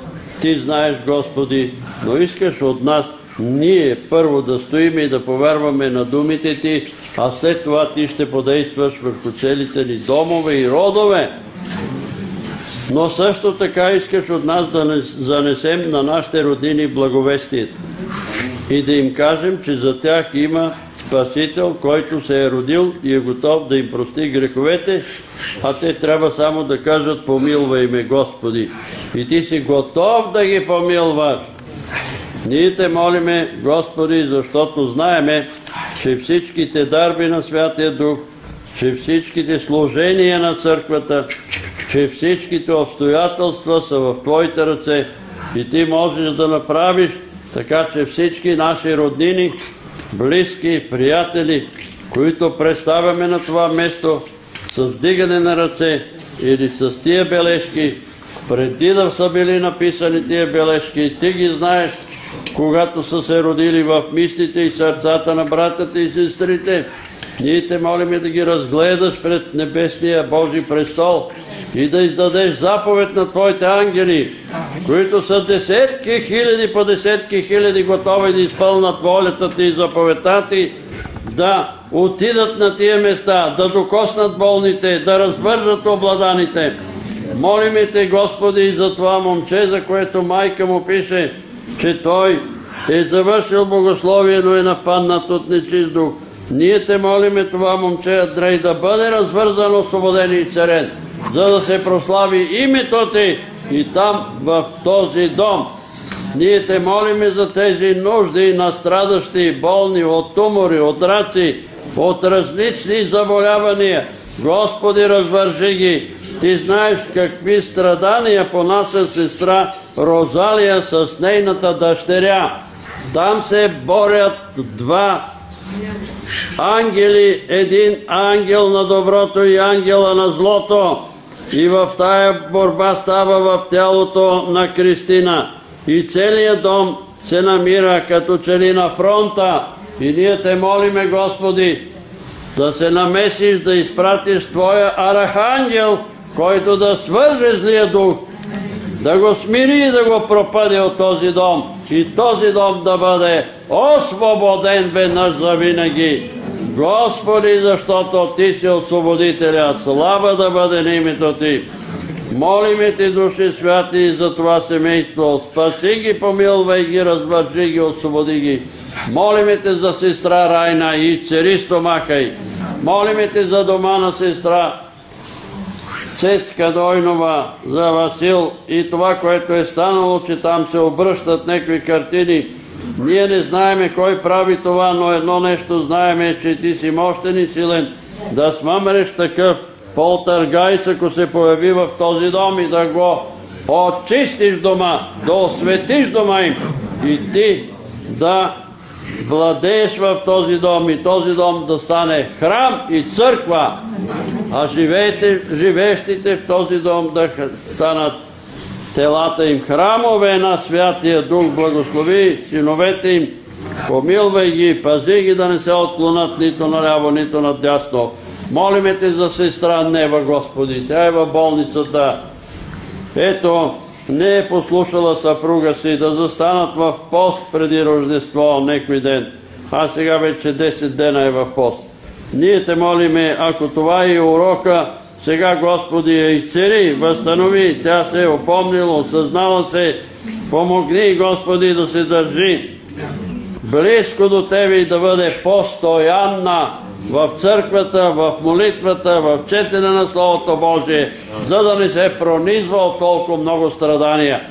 Милост за бабата на Нора, Господи, ето тази жена, която заявява, че вярва, сега се обадила и решила да ходи не на лекара, на врачка. И там ще се натовари и ще се чуди, защо след това нещата се влушават в дома и в тялото и в душата й. Въздърж краката й да не върви там, където си забранил. Господи, Ти си дал свободна воля, но ние те молиме да я спънеш и да я върнеш назад. Слава да бъде на името Ти, защото вярваме, че има такива моменти, когато Ти променяш пътя на човека и го връщаш, за да не отиде в погибел. Молиме Те, Господи, за тия човеци, които са дошли с вяра, че тук, като се молиме, Ти ще ги докоснеш, Ти ще ги помилваш, ще ги цериш и ще си излезнат от тук живи и здрави. Тази вечер ние също ще си спомним за Твоите страдания на Голгота, за Твоите Твоята молитва в Гецимания, когато Твоята пот се превърна в капки кръв. Ние те молиме, Господи, да ни помилваш, да ни дадеш с страхопочитание, с страх и трепет да застанеме пред Твоята кръв и пред Твоето тяло, пред кръста, на който беше пролята Твоята кръв. Господи, за да бъдем докоснати, за да бъдем очистени, за да бъдем осветени и за да бъдем благословени и слава да бъде на името Ти. Слава Тебе! Господи, слава Тебе! Благодариме Те, Господи! Молиме Те и за най-малките, молиме Те и за най-голямите. Молиме Те, благослови всички, които се надяват на Тебе. Господи, голяма част от християните в България тази вечер празнуват бъдни вечер, а утре Рождество Христово. Това са християните в Русия, може би Сърбия или Румъния, не знам, ти знаеш. Но ние те молим и тех да ги благословиш, да ги помилваш, да ги изпълниш с сила, с благодат. В България също има такива човеци, наречени старостилци. Благослови ги и тех, помилвай ги. Господи, бъди с тях. Ето, чуваме, Господи, откровение, че има опасност от катастрофално земетресение в България. Ние те молиме не само България, но и съседните народи. Турция, Гърция, Македония, Сърбия. Господи, Румъния, Украина, Русия, опази ни от катастрофални земетресения. Господи, ние четем Словото Ти, че ще има трусове. Ние не можем да ги спрем. Че силите небесни ще се разклатят. Не можем да ги спрем. Но ние те молиме, запази страната ни, прати. Господи, Твоите ангели и дай сила на княза на България, защото вярваме, че всяка страна си има архангел, който престои пред Теб. Ние те молиме, Господи, помогни на България да се да не бъде това през зимата в студа, да не бъде това, Господи, както си казал, да се молиме да не бъде в събота или през зимата. Опази страната ни от катастрофални земетресения. Опази България от катастрофални наводнения. Опази България от кръци, разбойници и грабители, които са напас в България. Господи, да не погинат праведните заедно с нечестивите. Господи, заради уния, които викат към Тебе и денем и нощем, молиме Те запази страната ни и народа ни. Ние Те молиме за Твоя народ Израел. Ти знаеш, Господи, че злите сили злите духове и князете на този свят са наежени срещу Израел. Но знаеме, че Ти ще го защитиш и опазиш, защото Твоето воинство ще воюва. И тия, които са от страната на Израел са много повече, отколкото ония, които са против Израел. И затова те молиме в тия дни мир на Израел, мир на Иерусалим, мир на София, мир на България. Халилуя! Слава да бъде на името Ти, Господи, помилвай ни! Мир на домовете ни, мир на душите ни, слава Тебе, благодариме Ти. Молиме Ти за сестра Здравка, която може би понеделник или през седмицата ще влезне в болница. Направи така, че да намери благоволение пред лекарите. Дай молитвен дух, Господи, там да попадне на добри лекари, защото съм уверен и знам, че има съвестни, добри лекари, добри сърца. Господи, но Ти бъди нейния лекар, главен лекар, а те да помагат каквото е необходимо за здравето и молиме те благослови и сестра Елеонора, отвори очите и молиме те за онай сестра, която е писала бележката. Изцери очите ми, Господи, Ти си мощен да изцеряваш очи, за да може да вижда светлината. Молиме те за Георги, Господи, стопи раковите образование белия дроб. Изцери го и помилвай го, Боже. Молиме те за Господи, за Марин от Варна. Стопира които образование в костите му.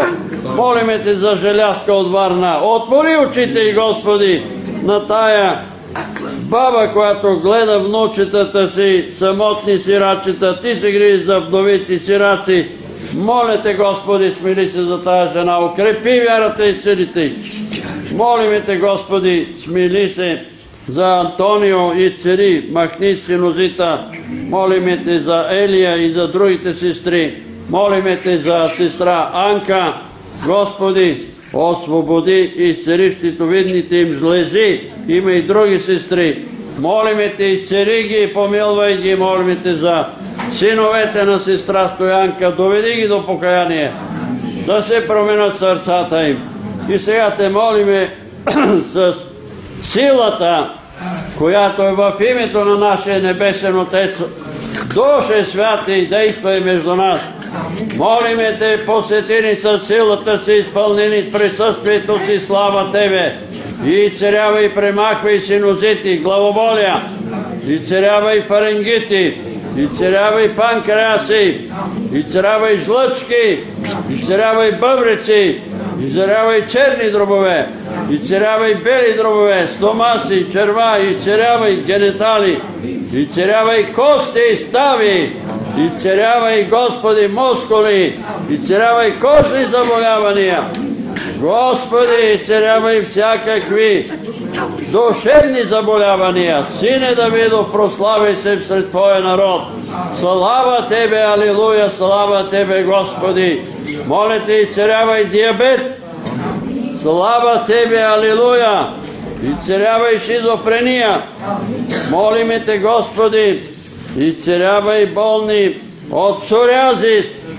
Слава Тебе, Алилуя, слава Тебе. Изцерявай от панкреас. Изцерявай, Господи, слава Тебе, Душе Святи, слава Тебе.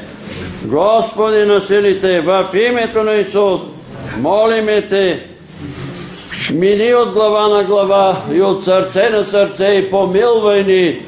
Душе Святи, спаси домовете ни, пази роднините ни, пази родовете ни. Господи, особено Те молиме за децата на България. Подмамват ги, подлъгват ги, зарибяват ги. Милост за децата на България, Господи. Сине Давидо, смири се за народа ни. Смири се за църквата си, която Ти, Господи, я изкупи със собствената си кръв. Ние те молиме, опази църквата си в София, църквата си в България, църквата си в целия свят. Господи, благослави народа си, слава да бъде на името Ти. Алилуя! Молиме Те за всяка нужда, предложена тук на това място. Молиме Те за Димитър, който на 30 му предстои отново дело. Те го оправдаха, но пак го обвиняват. Господи, ние те молим и Ти да се застъпиш, защото си праведния съдя. Ние те молим и за тези сестри, вдовици, сираци, които са им ограбили имотите и се опитват пак да ги ограбят. Ние те молиме да се застъпиш за бащинията на всеки сирак и на всяка вдовица и да смъмреш тия грабители, да ги изоблечиш и да ги премахнеш, Господи, да не ламтат за имота на сираците и вдовиците. Слава да бъде на името Ти. Милост за народа ни, Господи. Молиме Ти за този брат, който предложи баща си, майка си и брат си да ги докоснеш и той да го зарадваш да ги види, че те са повярвали и са се обърнали към Тебе. Господи, помилвай ни. Молиме Те за всяка представена нужда на това място, тайно в сърцата на братята и сестрите. Отговорим, Господи, наяве, за да бъде радостта и пълна. Молиме Те за Красимир, Господи, да го опазиш от алкохола, да промислиш за работата му, да благословиш делото на ръцете му и тия, които му пречат. И тия дразнители да се разпръснат от живота му. Господи, помилвай ни. Сине да милост, мили се за нас. Милост, Господи. Молиме Те, отговори на всяка писмена и устна молба на това място. Господи, помилвай ни. И сега всички заедно желаем да Ти се помолиме с молитвата, с която Ти си не научил да се молиме. Исусе Христе, Сине Божий, като се молиме да казваме Отче наш, който си на небесата, да си святи името Твое, да дойде царството Твое, да бъде волята Твоя, както на небето, така и на земята. Хлябът наш насъщни, дай го нам днес и прости ни дълговете наши, както и ние прощаваме на нашите длъжници. И не ни въвеждай в изкушение, но избави нас от лукавия, защото е Твое царството и силата и славата во веки веков. Амин. Вярвам в един Бог Отец, Вседържител, Творец на небето и земята, на всичко видимо и невидимо, и в един Господ Исус Христос, Сина Божия, единородния, който е роден от Отца, преди всички векове, светлина от светлина, Бог истинен от Бог истинен, роден, несътворен, единосъщен с Отца, и чрез когото всичко е станало, който заради нас човеците заради нашето спасение слезе от небесата и се въплати от Духа Святаго и Дева Мария и стана човек и се разпнат за нас при Понтия Пилата и страда и бе погребан и възкръсна в третия ден според Писанията и се възнесе на небесата и седи от дясно на Отца. И пак ще дойде със слава да съди живи и мъртви и царството му не ще има край. И Духа Святаго, Господа, животворящия, който от Отца изхожда, комуто се покланям и го славим наравно с Отца и Сина, и който е говорил чрез пророците. Една свята, вселенска и апостолска църква. Изповядвам едно кръщение за опрощаване на греховете. Чакам възкрешението на мъртвите и живот в бъдещия век. Амин. За дрехи. Отче святи и праведен, благодарим че можем всяка наша нужда да представим пред Теб. В името на Твоя възлюбен Син и нашия Спасител, Господ Исус Христос, който проля кръвта си на Голготския кръст за греховете на всеки един човек и в своите рани понесе болестите на всеки един човек. И се молим, Отче, благи сега за тези люди, тези дрехи представляват техните тела. Те са увредени, но ти знаеш всичко, при тебе всичко. И знаем от Твоето Слово, че няма праведен човек, който да живее да не се грешава. Но ние знаем от Твоето Слово, че в раните на Господ Христос Христос всички човеци са изцелени. Тези люди са изцелени в раните на Господ Исус Христос. И сега ти се молим, Отче благи, да действа с духът си в сърцата ни, да будиш тази вяра, че те са изцелени в раните на Господ Исус Христос. И ти се молим в името на Твоя възлюбен Син, да изпратиш Твоето Слово и те да бъдат съвършено силни. Нека казваш ти в Словото.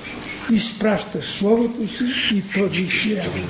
Това Слово, с което си създал световете, това Слово, с което си създал и нас, човеците, и това Слово е Твоето Слово, мощно, деятелно, действено на всяка точка на тази земя и на тази вселена.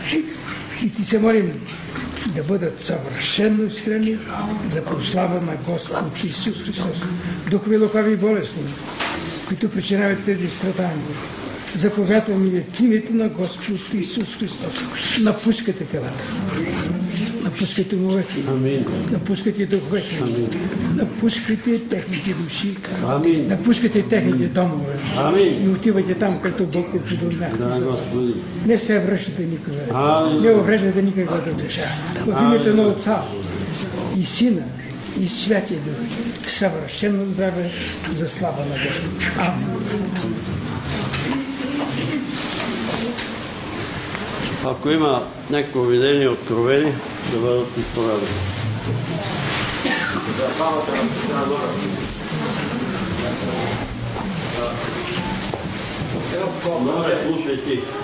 Едно парче, тело в формата на кръг и на него са копчани три катината. Ще отиде на врачката, там ще я вържат. Друг има ли ли? Кажи. Синовете на сестра стояха тъмнина и една змия голема, така виждам главата, голема като на питон. Тъмнина. Тъмнина, тъмнина. Целият свят лежи в тъмнина. Божието Слово да, да попадне в ръцете им, дай Боже, моли Господ да ги докосне. И за това момче, за това брат, дето предложи майка си, баща си, Да? една къща и един прозорец така отворен.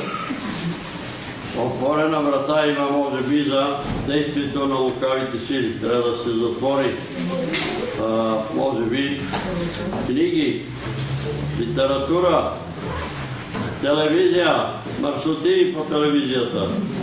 А неверващите си учитат за нищо. За лекарите и адвокатите, когато говорихте, имах едно такова видение. Един танк разруши една бяла стена. Просто мина през стената и я събори. Еми тия номера и на лекари и на адвокати ще бъдат съсипани тия дела. За бабата на Нора имам две видения. Първото беше, че тя се претърколи в кълбо напред. И второто видение беше както ходеше, попадна в краката и една примка, въжето се дръпна и тя падна. Запиши си го и кажи. За Христина. Христина. Виждам един войник с каска от тия пехотинците, които да войник да, да воюва. Останал с един гранатомет, готов да стреля. Гранатомет е противотанково оръдие. Да го гръмне този нечестив дух, дето ги тормози. За синовете на сестра Цецка чувам една дума, дано да не е верна, ама горко и... Не знам. Предай го. И сега. Нека да не се лъжим. Който люби света, става враг на Бога. Става враг на Бога. Сега не знам, доколкото Нора каза, че той е казал, че ще си вземе момиче от света, че обича света. Ама който обича света, става враг на Бога. Четете там посланието на апостол Яков. И това, което е в света, какво е в света? Суета, лъжа, измама. Ето и тия твоите там племеници, еми шидеме на дискотека. Като идете на дискотека, какво? Като се върнете, ограбени. Ограбени. Шидеме, еди какво си там. Света предлага съблазни, удоволствия, ама не са удоволствия, след това се чувстваш ограбен. Радостта е при Господ. При Господ. Продължава. Така, земетресението и опазването на България и околните държави, виждам един състезателен велосипед от тези, които провеждат състезанията, обаче на предното колело няма гума. Не знам. Ами, с Каплата седи, но гумата е. Не знам какво означава това, това велосипед, когато се състезаваме а, тук околните народи и какво се будуваме или други, пак като друсте тогава ще видим, ема да рода не друсте. За Израел. Чува се хваление Алилуя. Алилуя. Алилуя. Алилуя и така. Еми, благословение за Израел. Мир за домовете и душите ни. Един диригент е застанал и дирижира. Оркестъра не се вижда, но диригентът се вижда. За да има мир в домовете ни, разговаряйте се с песни и псалми. Така пише. нали? Повече пейте, като съберете, не се надвиквайте и не се карайте, Ами сядайте и викат, дай да спеме сега една песен, айде още една. И така, и ще има мир. Тази жена, тази жена, която ти изпратила писмо там, за не е бабата, която гледа децата, а другата жена. А, другата болна. Зрението, виждам една кола, на която и работят читачките на предното стъкло. Еми, Господ нещо прави на очите. Дай Боже да тя е в болница. А, когато се моли за изцерение от много болести, там ги изрежда, виждам тук в центъра на салона една вихрушка. От типа на смерч, не торнадо, а смерч. Да се махат тия болести и да си заминават. За ограбените сестри, които се моли, Да. чувам това. Повярвайте в Господа.